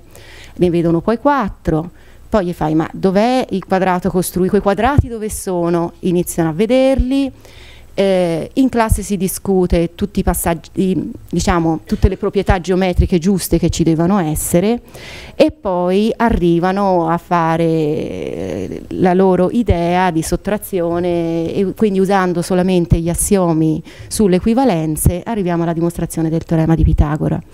Alla fine della lezione ho chiesto eh, che scrivessero loro con le loro parole effettivamente quello che i quadrati rappresentavano, che gli restasse. Più avanti, in una lezione successiva, ho presentato una seconda dimostrazione ai ragazzi, quella che usa invece i teoremi di equivalenza tra quadrati, parallelogrammi e rettangoli. Questa, devo dire, è stata una lezione più frontale. Eh, loro seguivano, eh, sarebbe un'animazione questa, ma io non, non sono riuscita a metterla su PowerPoint. E mh, anche qui a caccia di misconcezioni perché poi si tirano in ballo le proiezioni dei cateti sull'ipotenusa. Eh, se riescono a capire bene questi passaggi poi abbiamo pronto Euclide. Però questa è stata più frontale come lezione. E successivamente eh, da soli in un'ora di sostituzione, quindi io non c'ero, ho lasciato una scheda, un laboratorio che dovevano fare da soli con un'altra dimostrazione del teorema di Pitagora prettamente algebrica, eh, neanche tanto elegante, ma siccome l'ha fatta un presidente degli Stati Uniti, allora piace. E, e qui ehm, loro erano guidati nello scoprire l'enunciato poi prettamente algebrico del teorema di Pitagora. Uh, ho saltato l'ultima, ma la recupero se ci riesco. No? Eccoci. Allora, ehm, lavorare con la geometria, eh, i ragazzi hanno tantissime misconcezioni e non è facile tirargliele fuori e neanche poi eh, riparare a questi problemi, eh, però eh, questi tipi di lezioni qua uh, ti permettono di avere una partecipazione della classe che altrimenti non hai, tirano fuori competenze che altrimenti non attivano e richiede tanto tempo, tanto tanto tempo e lo puoi fare solo con classi che sai che ti vogliono seguire. Questi erano solo 16 e non tutti bravi, però mh, hanno seguito e risposto volentieri eh, alla richiesta. Grazie. Il presidente? E quella figurina lì non si vedeva? Ah, vediamo se riesco a ingrandirla. È fa, è fa. Ah, il presidente è Garfield, ventesimo presidente degli Stati Uniti. Dov'è? No, non per questa. Eh, la dimostrazione è tutta qui, dovete guardare questa figura, sono due triangoli rettangoli congruenti, disposti però eh, prima col cateto minore allineato al cateto maggiore. Si dovrebbe congiungere anche l'estremità delle ipotenuse e appare un trapezio rettangolo. Se si calcola l'area del trapezio rettangolo con la formula base maggiore più base minore usando le lettere in figura o si calcola l'area del trapezio eh, usando la somma dei tre triangoli rettangoli che appaiono in figura otteniamo un'uguaglianza in cui appare A, B e C e giocando con termini che si elidono, minimi comuni multipli, alla fine resta solo C alla seconda da una parte e A alla seconda più B alla seconda dall'altra. Garfield, uh, questo ora non si vede più, queste qua, sì. Ah, ok. Grazie. Grazie Buonasera. È stato interessantissimo, abbiamo scoperto anche cose che... mentre si preparano, cioè vengono gli altri, volevo... Eh, I quali altri sono incer incerti? Eccoli. Che siete incerti, giusto? Ok, perfetto.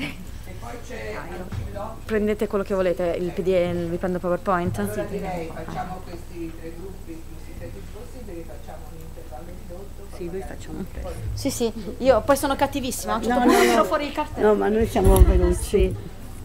Allora, salve a tutti, eh, noi siamo della scuola media di Carrara e abbiamo eh, lavorato sul questionario sull'atteggiamento nei confronti delle difficoltà.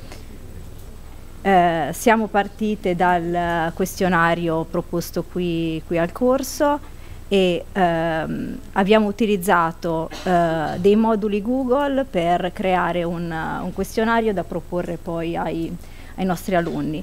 E abbiamo integrato eh, quello proposto qui al corso con del materiale che abbiamo consultato. Per esempio, se ci avete fatto caso, nelle guide per gli insegnanti all'inizio di solito ci sono sempre delle, delle domande relative all'atteggiamento dei ragazzi verso, verso, la matematica, quindi abbiamo rispolverato un po' di queste cose, abbiamo fatto un, uh, un collage di, del materiale che abbiamo, che abbiamo trovato. Eh, in pratica abbiamo lavorato, inviato questo questionario ognuno alle nostre classi. Io solo una prima e una terza e la collega e l'altra collega che non è presente oggi l'hanno inviato alle loro classi prima, seconda e terza. Eh, l'abbiamo inviato eh, tramite le nostre, alcuni di noi hanno le, le classi virtuali, quindi l'abbiamo mandato ai ragazzi sulle classi virtuali e loro a casa se lo sono compilato. A qualcun altro tramite Whatsapp oppure chi non aveva la possibilità l'ha fatto in classe con, uh, con i computer nostri della, della scuola. Praticamente questo questionario chiedeva immediatamente, prima domanda, benvenuto, se è un maschio o una femmina, e in pratica questi moduli Google mh, elaborano già le, le, risposte, quindi sono molto, molto rapidi perché eh, già fanno, fanno, i grafici. Quindi qua per esempio si vedevano le percentuali dei maschi e delle femmine più o meno uguali. Man mano che rispondevano. E, poi chiedevamo quale classe frequenti, quindi prima, seconda o terza e qui vedete nel diagramma la distribuzione delle, delle classi. Poi eh, per alcune domande abbiamo fatto noi un'altra elaborazione perché il programma permette di scaricare tutte le risposte su un foglio Excel e quindi poi uno le può analizzare come crede e quindi abbiamo diviso le risposte per vedere se c'era differenza tra maschi e femmine, eh, solo le prime, solo le seconde o solo le, solo le terze. Per esempio questa ti piace la matematica, abbiamo provato a fare, a fare la distinzione delle delle risposte, quindi in generale piace la, la matematica. Poi abbiamo messo anche delle domande aperte, quindi c'era come mai ti piace la, la matematica e qui siccome le, le, risposte che abbiamo raccolto erano cen, cen, circa 120, abbiamo estrapolato alcune risposte, per esempio eh, non mi piace perché mi mette a disagio, eh, ho paura visto che non è il mio cavallo di battaglia, eh, oppure c'è stata anche questa risposta non devi studiare. C'è sorpresa, eh, non mm. devi studiare. Bisogna usare, eh, no, però non sappiamo se non devi studiare è stata una risposta data da chi piace o da qualcuno a cui non piace. Io penso da pia mi, piace mi piace perché, perché non è necessario non la devo studiare molto. Bisogna usare molta logica e determinazione. Mi piace l'unione tra regole fisse e creatività dei numeri, si sono un po' sbizzarriti alcuni nelle, nelle risposte. Poi abbiamo chiesto, uh, qui so, um, c'era un elenco dei possibili motivi uh, per cui uno studente desidera andare bene in matematica, per esempio per far piacere ai genitori, uh, perché in questo modo aumenta la possibilità di essere promossi, mi sentirei più sicuro di me, non so se voi le vedete bene, sì. sì forse le vedono meglio loro sì, eh, perché qua si vedono piccine. L'insegnante eh, sarebbe contenta. Mi sentirei più intelligente, ci tengo ad andare bene a scuola, mi sentirei eh, più padrone della materia. Qui insomma le risposte sono state sempre sì, vorrei tanto mh, mm, che i miei genitori fossero contenti, cioè il motivo è che i genitori sono contenti, faccio piacere all'insegnante, mi sento più sicuro e la cosa che non ci aspettavamo è che non gli interessa minimamente il, uh, il giudizio dei compagni quindi i, i, miei compagni mi giudicherebbero più in gamba, questa è una cosa che non, non interessa granché ai ragazzi. Uh, poi uh, c'erano delle domande uh, relative al modo di, di, studiare, di seguire e partecipare alle lezioni o come affrontano le, le interrogazioni. Questa per esempio quando devo affrontare un problema non so da dove cominciare e la maggior parte sì, sanno come, come affrontare il problema accelero perché vedo che manca poco tempo, impara a memoria regole, procedimenti e formule anzi, anche senza comprenderli e sono pochi quelli che le imparano a memoria senza comprenderle. Queste sono tutta una serie di altre domande che, che avevamo messo, per esempio eh, se noi mh, li facciamo lavorare molto in, in gruppo, e qua da queste, da queste in una di queste domande mh, appunto si chiedeva se preferivano lavorare da soli o, o, in gruppo. E qui si è visto che la maggioranza preferisce lavorare in gruppo e eh, mh, ritengono di collaborare positivamente alle, alle attività del, dei gruppi. Poi c'erano anche domande eh, come queste, per esempio a scelta multipla, eh, capisco meglio una spiegazione se eh, è accompagnata dalle immagini, se la sento dalla voce dell'insegnante, quindi qui c'erano poi le varie, le varie elaborazioni. E, eh, abbiamo fatto un'analisi dei punti di forza e di debolezza di questo nostro lavoro. Praticamente i punti di forza, eh, la facilità di somministrazione, il, ehm, il fatto che per loro comunque è accattivante rispondere dal loro cellulare da casa è uno strumento veloce per elaborare i risultati. Punti, punti, di debolezza eh, troppo lungo perché alla fine abbiamo fatto una sessantina di domande, quindi anche sì, loro poi mi dicevano prof ma com'era lungo? Quindi sicuramente la lunghezza. E poi non abbiamo potuto estrapolare di che classi fossero, cioè se erano le mie o le sue e forse quindi abbiamo fatto tutti insieme. Cioè quindi sarebbe meglio forse farlo più incentrato su magari solo una parte, come si comportano le, quando si devono preparare per una verifica e ognuno farlo singolarmente nelle, nelle proprie classi. E prospettive, mh, avevamo pensato di creare dei questionari da utilizzare poi durante l'anno scolastico, da proporre al nostro Dipartimento di Matematica e da usare magari uno all'inizio dell'anno, alla fine del primo quadrimestre e alla fine della scuola. Grazie.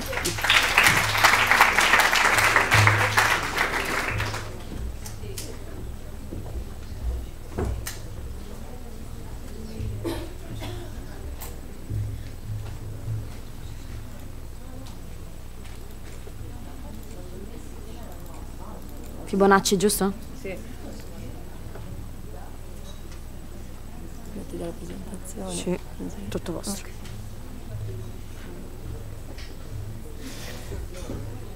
Allora, buonasera. Noi eh, siamo un gruppo di lavoro qui in una scuola media di, di Pisa, le Fibonacci, e eh, abbiamo lavorato anche noi sulla somministrazione del questionario, sull'atteggiamento nei confronti delle, delle, difficoltà, modificandolo. Io mi sono già persa. Ah, ecco. Allora, dunque, questo questionario è stato dato a un gruppo di ragazzi di terza media che frequentano eh, un corso proprio di recupero della matematica. Eh, è stato dato eh, nella nostra scuola, effettuiamo questi eh, laboratori in orario mattutino, modalità classi aperte con piccoli gruppi di ragazzo, quindi diciamo 6, 8, 10 ragazzi e quindi è stato somministrato in tre laboratori gestiti da tre insegnanti diverse. Il totale degli alunni quindi era di 25 alunni. È stato somministrato eh, dando diciamo 20 minuti circa per la compilazione dei questionari. Il laboratorio è articolato in 10 lezioni di un'ora ciascuno con cadenza settimanale. Allora, eh, in rosso sono evidenziate le, eh, le, modifiche che sono state fatte alle varie domande, ora per questioni di tempo andiamo su quelle che saranno eh, diciamo, le domande su cui ci soffermeremo. Dunque, nella domanda 3, pensa eh, ai tuoi compagni che riescono bene in matematica e che amano la matematica, quali sono i motivi principali per cui riescono bene? Noi abbiamo deciso di scalettare diciamo, le risposte proprio perché a questo livello e soprattutto ragazzi in difficoltà hanno, abbiamo notato appunto delle difficoltà a uh, motivare e quindi abbiamo aggiunto, studiano tanto, sono più intelligenti perché studiano con continuità, sono seguiti dai genitori, sono meno emotivi o hanno una buona preparazione di base. Nella domanda 4, dove invece ci sono alcune possibili motivazioni per cui uno studente potrebbe desiderare di andare bene in matematica, e scalettato con un molto abbastanza poco per niente abbiamo aggiunto le ultime due voci mi serve per gli studi futuri oppure mi serve perché è utile nella vita di tutti i giorni. L'ultima domanda su cui ci concentreremo è a cosa attribuisci le tue difficoltà in matematica? Si legge sì. E abbiamo aggiunto tra le varie fattori appunto scalettati per molto poco per niente eh, ho paura di sbagliare, ho difficoltà a comprendere il linguaggio, non ho memoria, ho bisogno di più tempo, vado nel panico o gli insegnanti non mi hanno fatto amare la materia. Allora, va bene, questo era un gruppo, a differenza della presentazione prima, proprio eh, già incentrato sul recupero, quindi alla domanda ti piace la matematica abbiamo avuto un no 48% e un sì 32% e un indifferente 20%, però che insomma sono quelli a cui possiamo far cambiare idea ancora. Allora, andiamo al, al sodo, i punti di forza e gli aspetti positivi.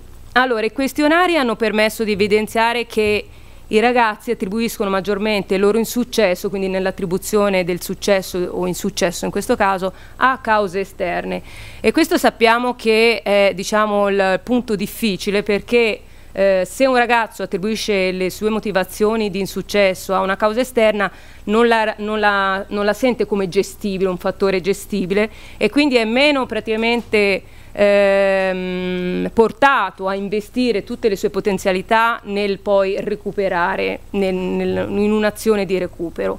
È stato visto anche come ci sono notevoli differenze tra le risposte attese dagli insegnanti e quelle poi indicate dagli alunni ad esempio, oh, tutti noi pensiamo che eh, oh, i ragazzi che hanno difficoltà in matematica hanno una difficoltà nella comprensione no, del linguaggio, dei problemi, eccetera.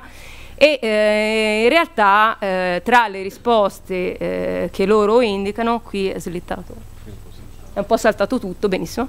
E, Mentre vai ti prendo l'altra.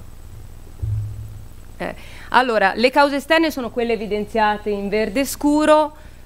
Arrivo, eh. Sì al mio informatico di fiducia. Allora, tra le cause esterne appunto c'erano le... Eh, ok. Ok, perfetto. Sono difficoltà nella materia e le lacune di base. Quindi ci sono le percentuali so sotto, in blu scuro molto, in giallo il poco, in rosso il niente. Come vediamo le difficoltà nella materia e le lacune di base raggiungono circa il 40% e quindi queste sono gestite, sono uh, sentite dai ragazzi come appunto una delle cause principali legate alle loro difficoltà. Tra le cause interne, quindi quelle che i ragazzi attribuiscono a se stessi, ci sono vado nel panico, le più gettonate, metto quelle che hanno avuto una percentuale maggiore, vado nel panico, un metodo di studio sbagliato, uno studio insufficiente, lo scarso impegno. Qui c'è da dire che eh, come da letteratura, vado nel panico, seppure è sentita come una causa interna, in realtà è un qualcosa che il ragazzo percepisce come non gestibile da se stesso e quindi ugualmente eh, eh, diciamo, agisce sulla motivazione poi del ragazzo stesso a eh, mettersi in gioco. Tra le cause attese invece noi pensavamo eh, difficoltà a comprendere il linguaggio, fattori emotivi, eccessive richieste dell'insegnante e invece queste voci, oppure ho bisogno di più tempo, e invece queste voci come vedete hanno avuto delle valutazioni molto basse, fattori emotivi sotto il 20%, eccessive richieste dell'insegnante pare che sia tutto in regola e difficoltà a comprendere il linguaggio intorno al 20%. Quindi, eh, ma io mi sembra di essere... Va bene. Ah, cerchiamo. Allora, criticità da correggere. Allora, ovviamente il numero basso dei questionari, 25, ovviamente un limitato valore statistico. Alcune domande probabilmente non sono formulate in maniera molto chiara, per cui le difficoltà anche di interpretazione delle risposte. A cosa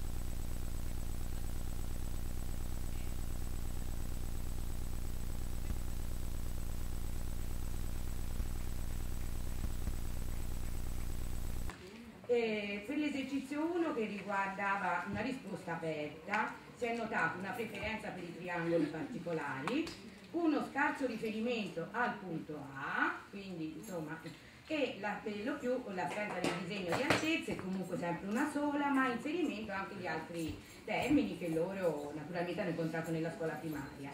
Eh, confrontando i dati con il questionario dopo emerge appunto l'analisi è piuttosto insomma, sommaria, non è proprio analitica, eh, una maggiore ricchezza di elementi ovviamente e, e, tra cui in particolare ecco, quasi tutti poi hanno riportato le altezze, quindi spontaneamente, e poi una maggiore correttezza. Quello che considerato il carattere aperto della richiesta e lo scarso riferimento al vocabolario, anche in questo caso si è scelto di aggiungere delle indicazioni precise di, che suggeriscono appunto di fare riferimento ai vocaboli che sono nel dizionario. Poi, ehm, per quanto riguarda, qui era proposta una classificazione dei 12 triangoli, sia in base ai lati che in base agli angoli, e abbiamo verificato, forse una cosa che magari può essere anche ben nota, che eh, è accettabile in linea di massima la eh, conoscenza e la classificazione in base ai lati, mentre i ragazzi si muovono con molta difficoltà nella classificazione in base agli angoli. Nel questionario dopo ci sono state delle, cioè, un incremento di risposte corrette e la, soprattutto riguardo la classificazione in base agli angoli, ma comunque rimane eh, una delle, diciamo, rimangono mh, ancora delle lacune, delle difficoltà. Quello che abbiamo notato è una scarsa competenza metacognitiva eh, perché 12 triangoli, pochissimi hanno, hanno utilizzato strategie di conteggio, strategie di visualizzazione di, di lati eh, che fossero uguali, di angoli retti, quindi insomma veramente scarse capacità. eh, nella, niente, quindi non sono stati fatti una banale modifica, niente di sostanziale. Ecco. Per quanto riguarda eh, l'esercizio 3 eh, sono stati proposti, eh, appunto, l'avete già visionato, no? Tanto questo è stato già visionato. Sì, un, un, sì la, la decisione. Sì. Aiutati con disegni e giustifica le risposte. Un triangolo può avere due angoli retti, la seconda, un triangolo può avere due angoli acuti. Eh, con il suggerimento di utilizzare un disegno, eh, molti, in molti casi, insomma per la maggior parte, eh, insomma, sono state un alto numero di risposte corrette, anche di giustificazioni corrette, però soprattutto limitate a disegno. Ora qui vedete una ragazza che in realtà ha anche cercato di verbalizzare, però non è molto comune. Eh, nel, successivamente c'è stato un incremento delle giustificazioni con argomentazioni verbali che naturalmente prendono in considerazione la somma degli angoli interni e, e questo c'era da aspettarselo appunto perché dopo il lavoro in classe. Le, per quanto riguarda il disegno non si sono notati di un triangolo equilatero, un triangolo equilatero e un eh, triangolo ottusangolo eh, isoscelo ottusangolo e le era dato un lato, in particolare nel suo esercizio la base di 4 cm.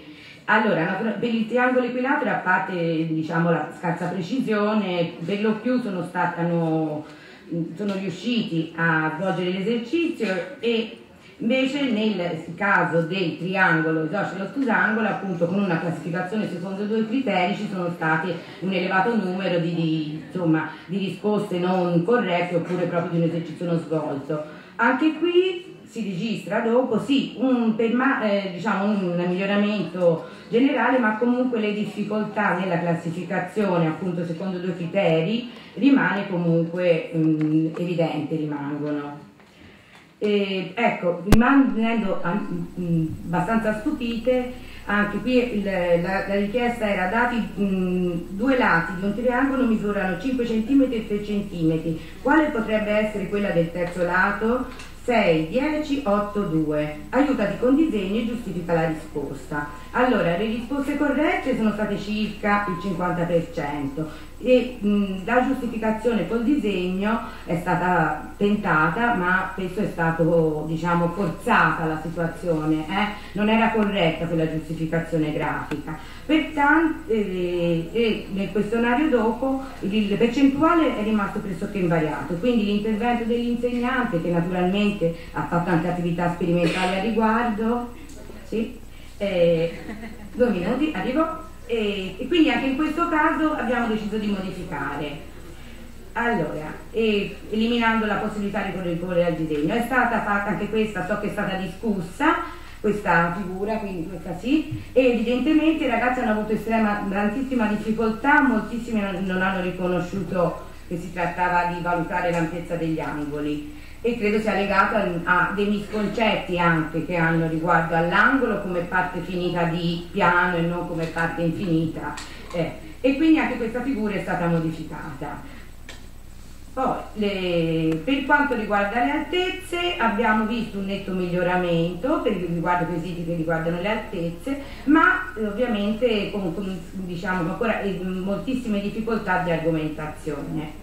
Per qua, ecco, l'aspetto importante è che i ragazzi hanno sottovalutato hanno sottovalutato diciamo, la parte di autoriflessione, eh? in molti casi non hanno completato bene, non accuratamente, in molti casi hanno risposto di essere migliorati anche se non avevano risposto alle domande. O, mm, ecco, abbiamo visto che non hanno, probabilmente perché era, cioè, era la prima volta che gli veniva somministrato questo strumento quindi è stata necessità di lavorare. Per noi è stato molto importante eh, come strumento proprio per conoscere la classe eh?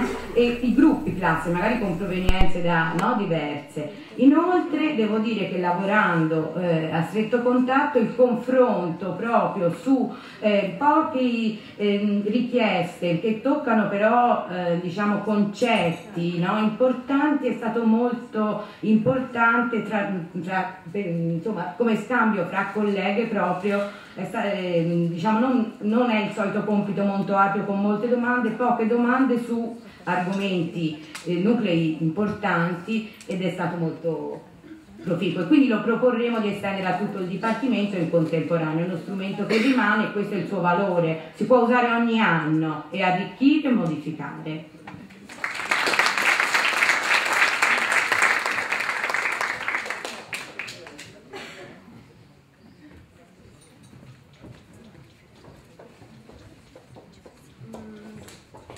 Gruppo di novi. Eccolo là.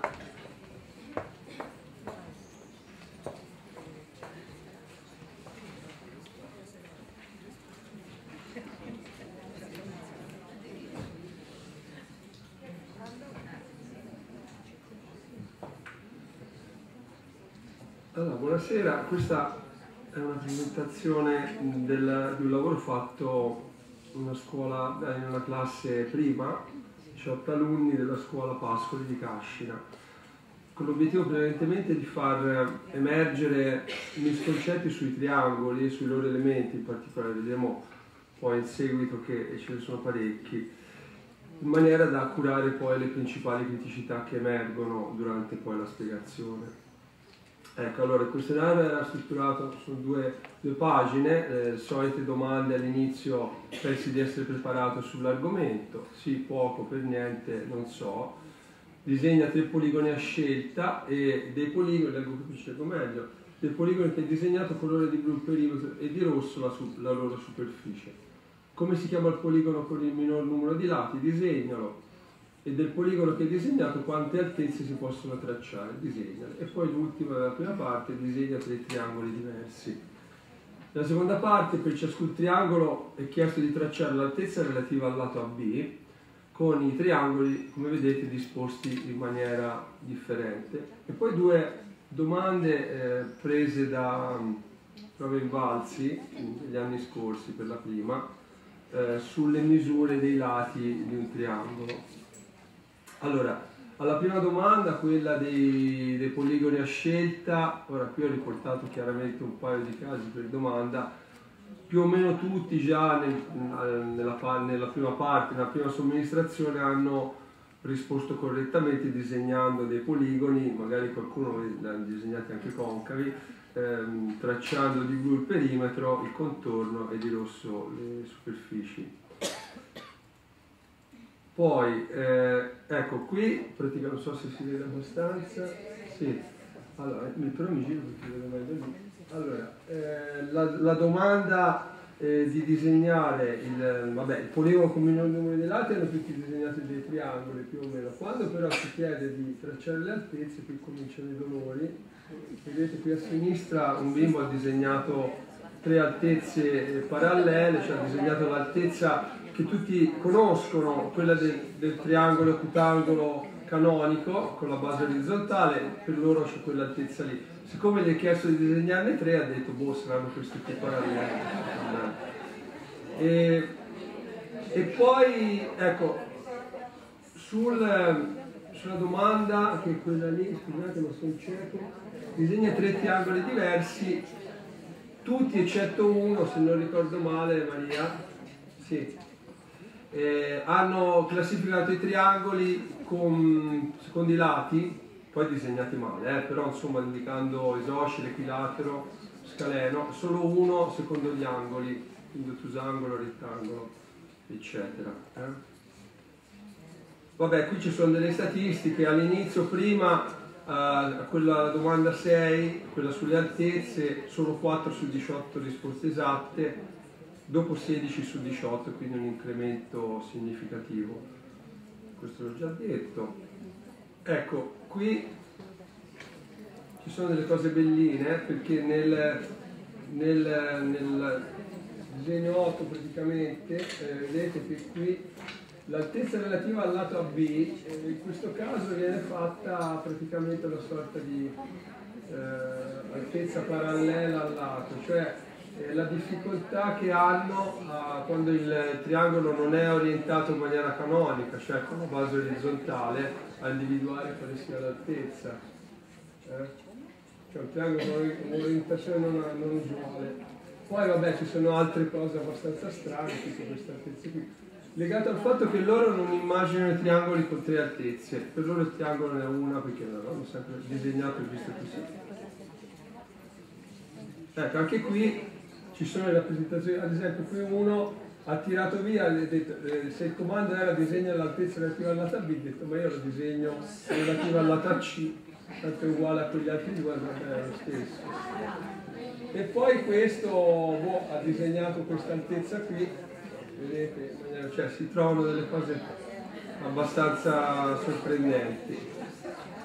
Ecco, in questo caso, su questo esercizio, prima eh, la prima somministrazione 1 su 18 ha risposto correttamente, il 6%, dopo 4 su 18, quindi tutto sommato ehm, piuttosto deludente che, che dopo la spiegazione ci sia stata una percentuale così bassa di risoluzione.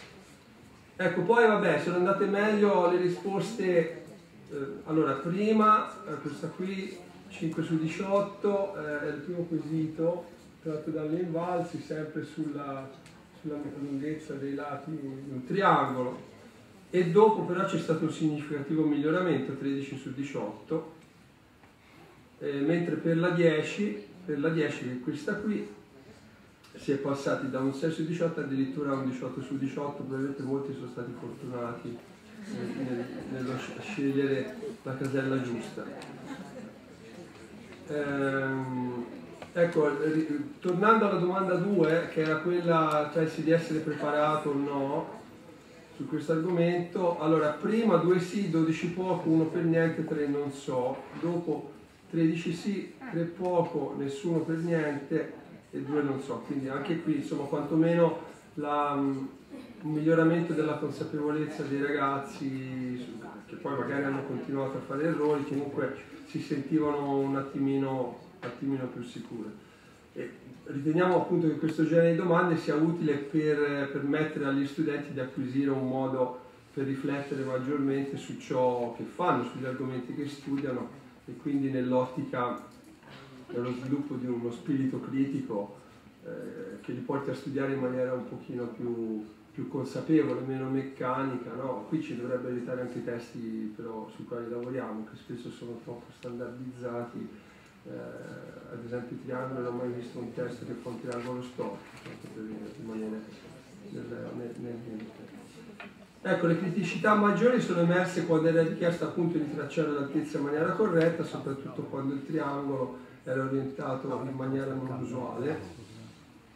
Quindi cioè, questo chiaramente mette in evidenza eh, che i ragazzi sono abituati a studiare, ma anche per colpa dei testi, vedere le cose soltanto in, un'unica maniera. Quindi nel caso dei triangoli, il triangolo con apitangolo classico con la base orizzontale e, e l'altezza che cade dal vertice opposto sulla base.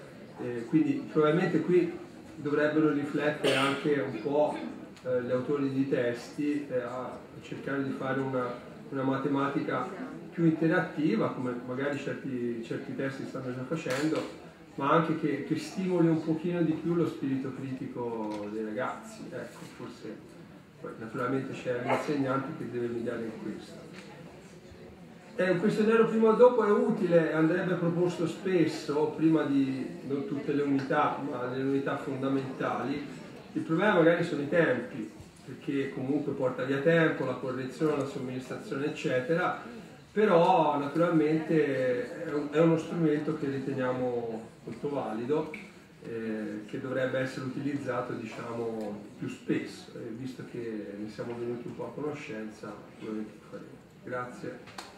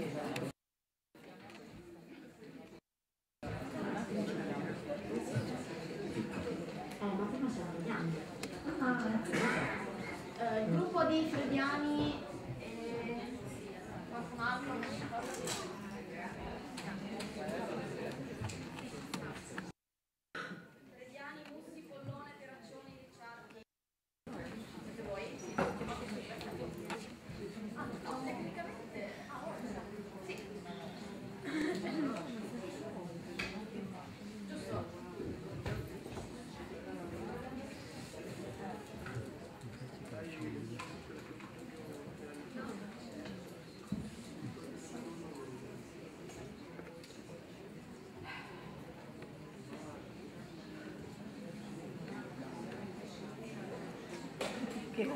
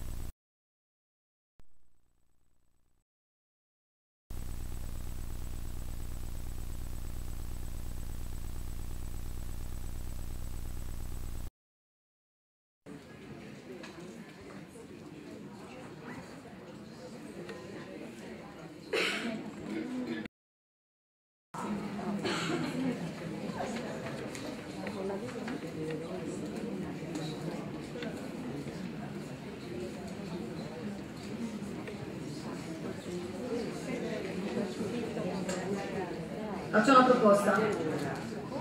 Avevate ragione voi. Venite voi e nel frattempo sistemo la cosa. Loro l'hanno già messa prima.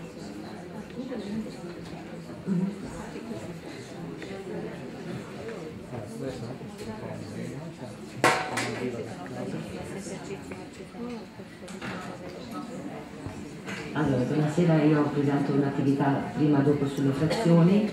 L'attività è stata sperimentata da un gruppo di eh, tre docenti della scuola secondaria di primo grado e una docente invece della scuola secondaria di secondo grado. È stata fatta praticamente insieme, sperimentata questa attività mh, nella classe secondaria di primo grado e nelle classi seconde della stessa scuola e invece la insegnante di scuola secondaria superiore in un istituto professionale una classe terza.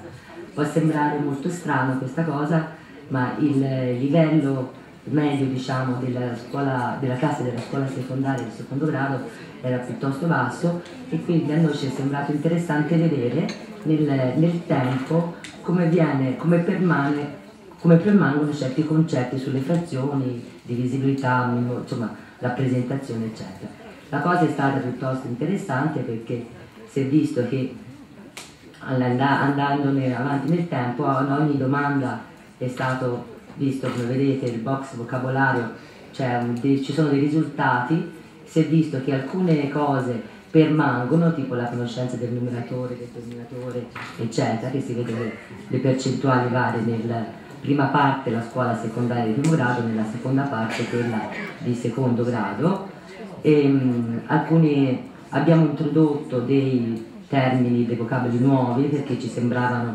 eh, necessari tipo i minimi termini, minore uguale, maggiore uguale, la potenza, MCM e MCT che non erano presenti nella scheda invece che era diciamo, stata presentata e eh, si vede come praticamente la conoscenza è quasi uguale nelle due ordini di scuola.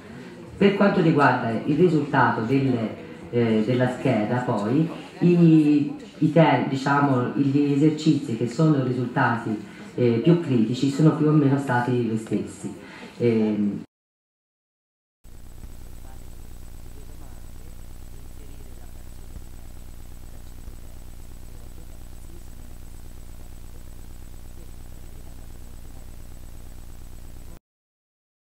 secondo grado. E la seconda domanda, lo stesso, addirittura nel secondo grado non è stata fatta corretta da nessuno. Interessante da vedere anche, non so se le vedete, eh, le risposte che sono state riportate e le motivazioni per cui sono state riportate eh, certe risposte. Alcune volte abbiamo cercato di interpretare anche gli errori, perché per esempio nella 1B, tra 7 terzi e 8 terzi, eh, quelli che hanno sbagliato, la maggior parte hanno detto che non è possibile inserire, ovviamente perché non ci sono numeri tra il 7 e 8, oppure sono numeri consecutivi, in mezzo non ci stanno numeri abbiamo trovato nella scuola. Nella scuola secondaria invece di secondo grado eh, si vede che proprio sì, c'è scritto un alunno ha risposto sì e non ha scritto però la frazione, tre alunni invece hanno scritto delle frazioni eh, strane, praticamente hanno fatto una sottrazione tra numeratori e invertito poi numeratore con denominatore, quindi cose piuttosto particolari.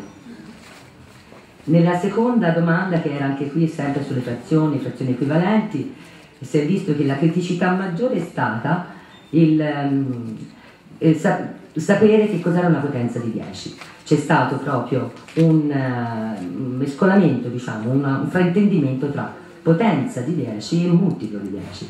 Addirittura hanno, alcuni hanno messo che la potenza era 30 quarantesimi, la potenza equivalente a 3 quarti, e, nella, e lo stesso per la seconda risposta. E questi errori si ritrovano sia nella seconda area di primo grado che in quella di secondo grado. Sono esatto, quelli di secondo grado addirittura proprio zero. Una frazione vale 0 soltanto se è 0 il numeratore, anche qui come, qui come, vedete le cose piuttosto simili diciamo, abbiamo ottenuto come risultati. Nella, in questa cosa il ruolo dello 0, anche qui ci sono stati eh, molti errori e nella scuola secondaria di secondo grado si vede che c'è stato solo il 33% di risposte eh, corrette e in quella della secondaria più o meno siamo al 29%. Addirittura a volte è stato messo 1, per esempio nella scuola secondaria, alunno, 4 alunni hanno risposto che 2 fratto 0 è uguale a 1. Anche qui secondo me è stato un errore di 2 alla 0 uguale a 1 qui 2 fratto 0 loro vanno al ricordo, ricordo ovviamente sbagliato su certi concetti base. Questo nel box vocabolario, la scuola secondaria di, per esempio di primo grado, alcuni dicevano che non si ricordavano queste, questi simboli, nella scuola secondaria invece sì, e insomma le risposte sono state abbastanza positive. In questa domanda invece le frazioni corrispondenti alla parte colorata, come si vede, i risultati più o meno sono identici e anche il tipo di errore è identico. Quasi tutti hanno praticamente segnalato un settimo, non tenendo conto ovviamente che le parti sono diverse, loro hanno semplicemente puntato una parte colorata, sette parti non colorate settimo. Gli errori sono stati quasi tutti questi. Eh, nel, nella domanda sul minimo comune multiplo e massimo comune divisore vedete la scuola secondaria di secondo grado che non ci sono state risposte corrette. Nel primo grado invece c'è un 30% di risposte corrette, gli errori che ci sono stati sono stati errori eh, di, di, calcolo sulle divisioni oppure hanno il concetto di minimo comune multiplo e l'hanno fatto, calcolato anche correttamente, ma poi non hanno fatto il massimo comune divisore eh, sbagliando magari ci hanno fatto la scomposizione in fattori correttamente, arrivato in fondo e quando sono arrivati ad applicare la, la, diciamo, la formula per il massimo condivisore hanno sbagliato in questo esponenti sbagliati eccetera. E andando avanti comunque gli errori si vedono. E una cosa piuttosto interessante può essere questa, era la, di rappresentare la, certe frazioni sulla retta e le risposte della secondaria di secondo grado che particolari sono queste. Per come vedete il primo errore sono praticamente hanno eh, posizionati in ordine corretto, ma solo la prima è corretta perché quell'altro come vedete sono partite da dove finivano a mettere da dove finiva uno sono ripartite a, a calcolare le parti senza ripartire sempre dallo zero. La secondo caso invece, come vedete, sono anche queste allineate, diciamo, eh, c'erano delle, delle, frazioni negative che avevamo lasciate volutamente perché in seconda eh, a volte sanno posizionarle anche se non sanno bene il significato delle frazioni negative e volevamo vedere posizionato bene ma non c'è lo zero e poi ehm, anche qui un terzo non si sa come è stata addirittura calcolata l'unità di misura bene questo era un alunno di SA il terzo caso è stata una cosa eh, che mi ha molto eh, meravigliato perché praticamente ha preso come riferimento il numero intero sulla retta, il numeratore e da lì hanno contato le parti prese tutte uguali, dividendo in 10 parti l'unità di, fra, l'unità frazionale, le, scusate, l'unità di misura da 0 a 1, da 1 a 2, però partendo dal, dal denominatore. Quindi eh, anche qui è stato un po' eh, sconvolgente. Questo era un esercizio diciamo classico che agli elementari di solito fanno, è andato piuttosto bene, calcola, colora la porzione corrispondente a 3 quinti e 5 ottavi, è stato fatto uguale da tutti. Questa, questo quesito sulle frazioni equivalenti è, mh, alla scuola secondaria di primo grado è andato a benino, diciamo così, perché gli errori non sono stati errori madornali a parte uno o due che hanno sbagliato, ma hanno soltanto praticamente ehm, trovato alcun, una frazione equivalente, non quali, senza leggere attentamente il testo, eccetera. Eh, riduce a minimi termini, anche qui gli errori che sono stati fatti è che non hanno ridotto completamente minimi termini, si sono fermati prima, oppure hanno fatto degli errori. E questo era l'ultimo esercizio, anche qui lo stesso tipo di errore, quale dei padroni. I risultati diciamo che si sono eh, guardati un attimino guardando quello che è avvenuto alla scuola secondaria e di secondo grado, sono stato di rivedere alcune eh, domande, per esempio nel box vocabolario, viene indicato di, di dire eh, cerchia quello che non conosci. Per loro non conosci è un po' una cosa particolare, perché loro non, sanno, non si sa bene se intendono la conoscenza proprio vera del termine o se me lo ricordo perché tante cose che loro dicevano di ricordarsi, poi in fondo invece l'hanno sbagliato e non lo sapevano, quindi magari loro lo hanno sentito, quindi specificare meglio in questo senso, anche la richiesta. Poi, ehm, per esempio, la domanda su MCM e MCD, molti hanno invertito, quindi separare le due domande. Ehm, e poi vabbè, invece le criticità che sono state emerse, più o meno le stesse nella scuola dei due ordini, sono state il ruolo dello zero nella divisione, eh, difficoltà nel passare da un tipo di rappresentazione ad un'altra, la rappresentazione del numero sulla retta, frazioni anche come operatore, abbiamo visto che ci sono state diverse difficoltà, potenze multiplo di 10 e poi il massimo condivisore. E volevo fare la svetta. No, eh, allora mentre si prepara... Grazie. Scusate questo ruolo, ma eh, alle sei e mezza chiudiamo. E chiederei, mentre si preparano gli altri, di pensare già che avendo poco tempo, eh, conviene eh, semmai sacrificare l'analisi delle domande, di alcune domande, e andare sulle conclusioni. Approfitto di questo tempo morto per una buona notizia che proprio ora mi ha telefonato la dottoressa Guidi che era riuscita a contattare l'Accademia dei Lincei e che di fatto lasciano fare a noi, nel senso che noi indichiamo le ore e loro fanno gli attestati.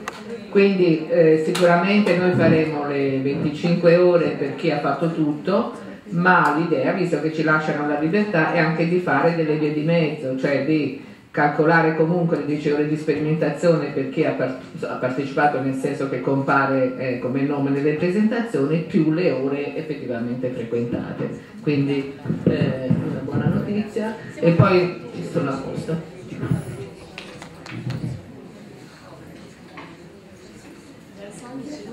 Noi abbiamo fatto un questionario prima e dopo sulle frazioni in eh, tre scuole diverse le classi prima e seconda di una scuola media, di una scuola secondaria di primo grado.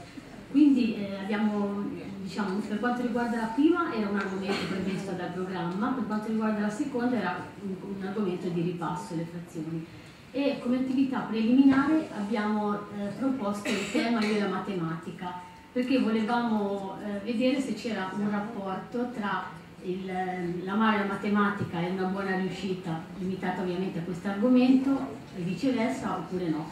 Chiaramente non ha un valore statistico perché eh, il numero degli alunni è abbastanza irrisorio.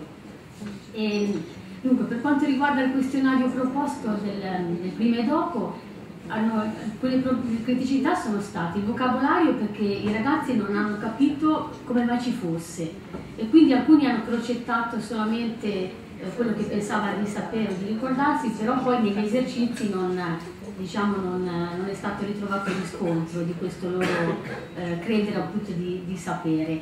E sono state necessarie appunto delle spiegazioni aggiuntive perché non capivano appunto eh, perché l'avevamo messo, sì. E questo anche per quanto riguarda i, i simboli delle frazioni Poi un'altra ehm, osservazione che abbiamo fatto è stata quella del, che loro mh, non riescono ad, ad, argomentare, ma ricorrono eh, solo ad esempi, cioè nessuno di loro ha, ha, dato una definizione, per esempio, di frazione propria, frazione impropria, ma hanno proprio scritto la frazione propria, impropria, eccetera. E ehm, poi un'altra criticità è stata la retta dei numeri. Noi non abbiamo dato, abbiamo dato il questionario su carta bianca, gli esercizi su carta foglio bianco e abbiamo detto di decidere loro, eh, di, di, usare l'unità di misura loro, eh, cioè di decidere loro, però in realtà eh, hanno, sì, diciamo, questa cosa li ha messi molto in crisi, quindi forse la prossima volta sarebbe ehm, auspicabile magari utilizzare o, o, una carta quadrettata e in questo modo, perché altrimenti non, non, hanno, non sono riusciti proprio, no, non tutti, però una, una, un gran numero a, a, eseguire questo esercizio. E quindi eh, niente, dal, dagli analisi dei risultati che abbiamo ottenuto eh, è venuto fuori appunto che quasi sempre un buon rapporto con la matematica è correlato al successo o viceversa, quindi eh, in effetti eh, cioè quelli, gli alunni che amano la matematica in effetti hanno fatto delle buone prove, poi non sempre eh, hanno consapevolezza dei loro errori e tendono, e questo l'abbiamo visto soprattutto nei temi, che tendono a proiettare eh, i loro insuccessi verso l'esterno, quindi come è già stato detto da, dai nostri colleghi precedenti, quindi la maestra che non, aveva, eh, non spiegava bene, che era sempre fuori dalla classe, eh, alle elementari, e, e quindi non amava il suo lavoro, addirittura eh, un, un, alunno ha scritto che, ehm, che, la maestra appunto non, si vedeva che non amava il suo lavoro perché ce l'aveva, sì, ce l'aveva con loro, quindi faceva delle verifiche a sorpresa e poi anche se, aveva, anche se avevano studiato tutta la classe prendevano dei brutti voti. E quindi invece alle medie hanno avuto un insegnante ehm, l'insegnante che, che amava il suo lavoro e quindi a questo punto questo alunno eh, è riuscito a migliorare grazie, grazie a lui. Quindi c'è questa, questa, proiezione appunto delle difficoltà verso altri, verso l'ambiente esterno. E, diciamo che questa attività è stata positiva perché innanzitutto gli alunni si, eh, hanno, si sono autocorretti appunto ehm, gli esercizi, quindi ha, portato a una maggior consapevolezza dei, dei loro errori e ehm, questa, diciamo, il fatto di mettere delle domande su cosa io penso, come penso di aver fatto questo esercizio, li ha portati a una riflessione maggiore, perché spesso riscontriamo che anche nelle verifiche sono molto frettolosi, addirittura che ne so, mancano 10 minuti alla fine, però consegnano senza magari riguardarla, senza usare tutto il tempo a disposizione. Quindi questa attività, questo, diciamo, questo, queste domande appunto sul sul come, come, pensi di aver fatto li ha indotti in un certo senso a soffermarsi eh, e a non dare delle risposte affrettate. Fine.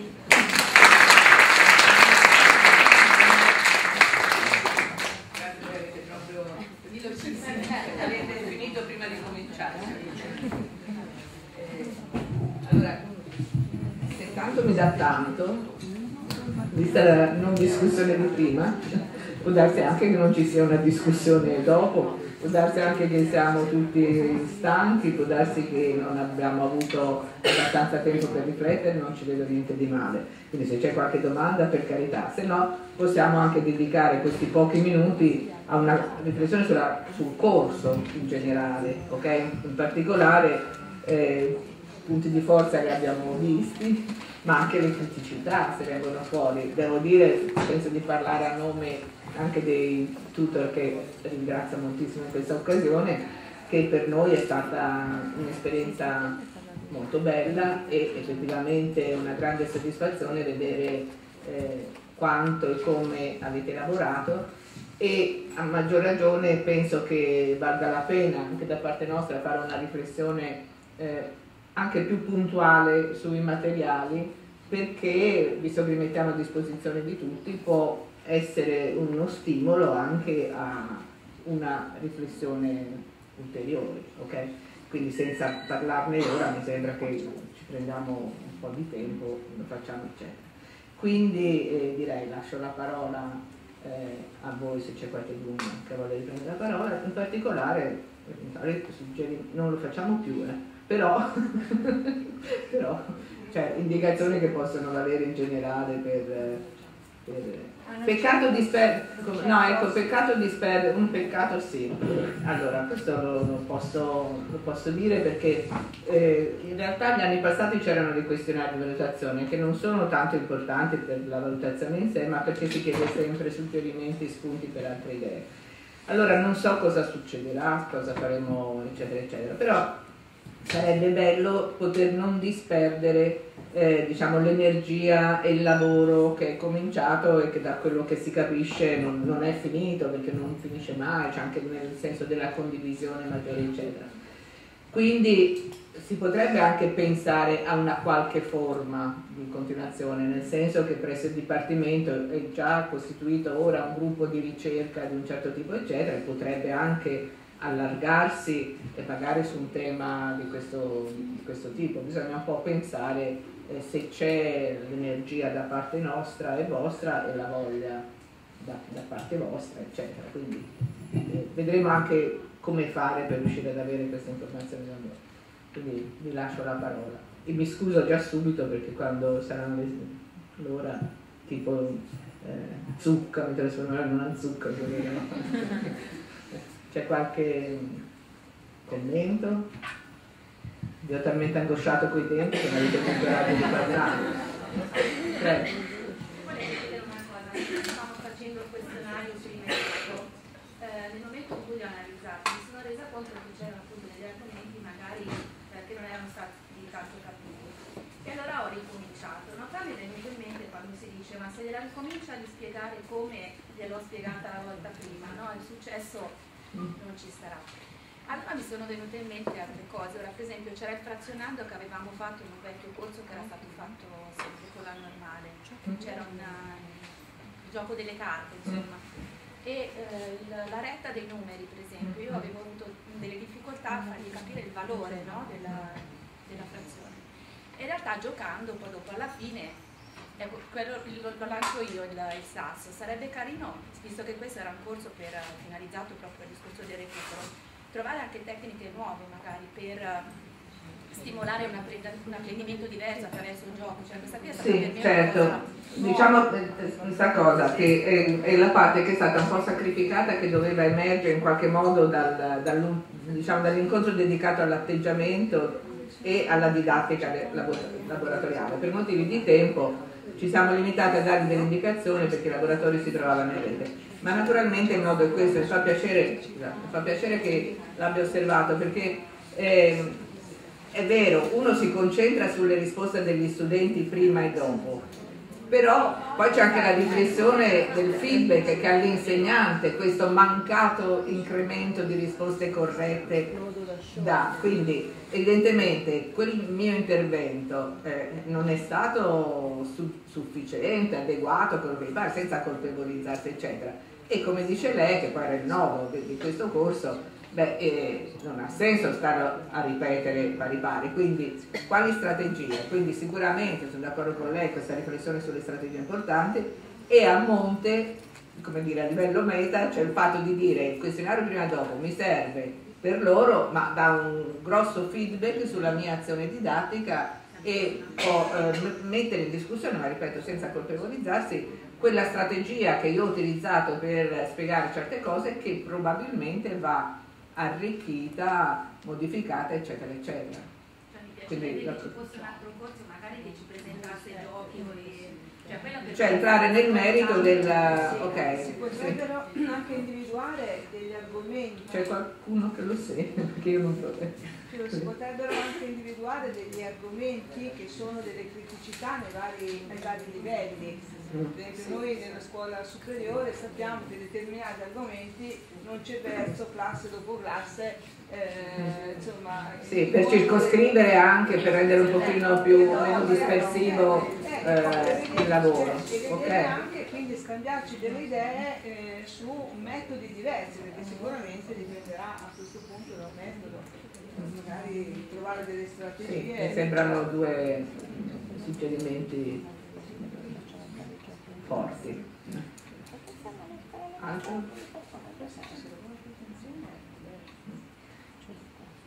Vabbè, noi cercheremo il modo di darvi delle cioè da avere da voi anche tramite, tanto l'indirizzario ce l'abbiamo eccetera, da avere da voi eh, dei suggerimenti e poi attraverso l'indirizzario possiamo anche comunicare eh, eventuali buone intenzioni eccetera. Lucia vuoi concludere?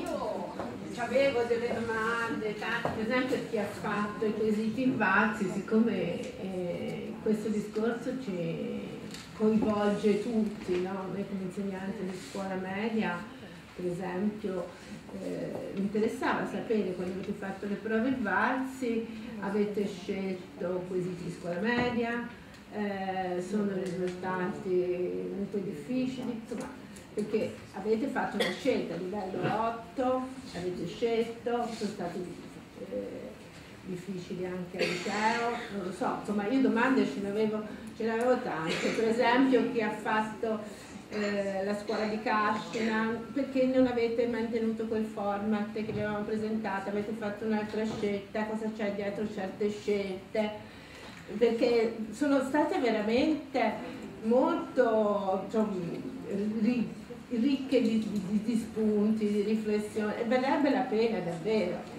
Per inciso, eh, il gioco delle frazioni l'ho contattata recentemente, l'insegnante che lo presentò ha detto che sta scrivendo, eh, sì, la Montone ha detto che sta seguendo una pubblicazione e quindi tra poco ci sarà anche quella. Sicuramente potremo scambiarci tante idee sulle strategie didattiche. L'abbiamo anche fatto in passato alla scuola normale, sull'altezza, il discorso di come affrontare criteri di visibilità, insomma, eh, però non si può fare tutto.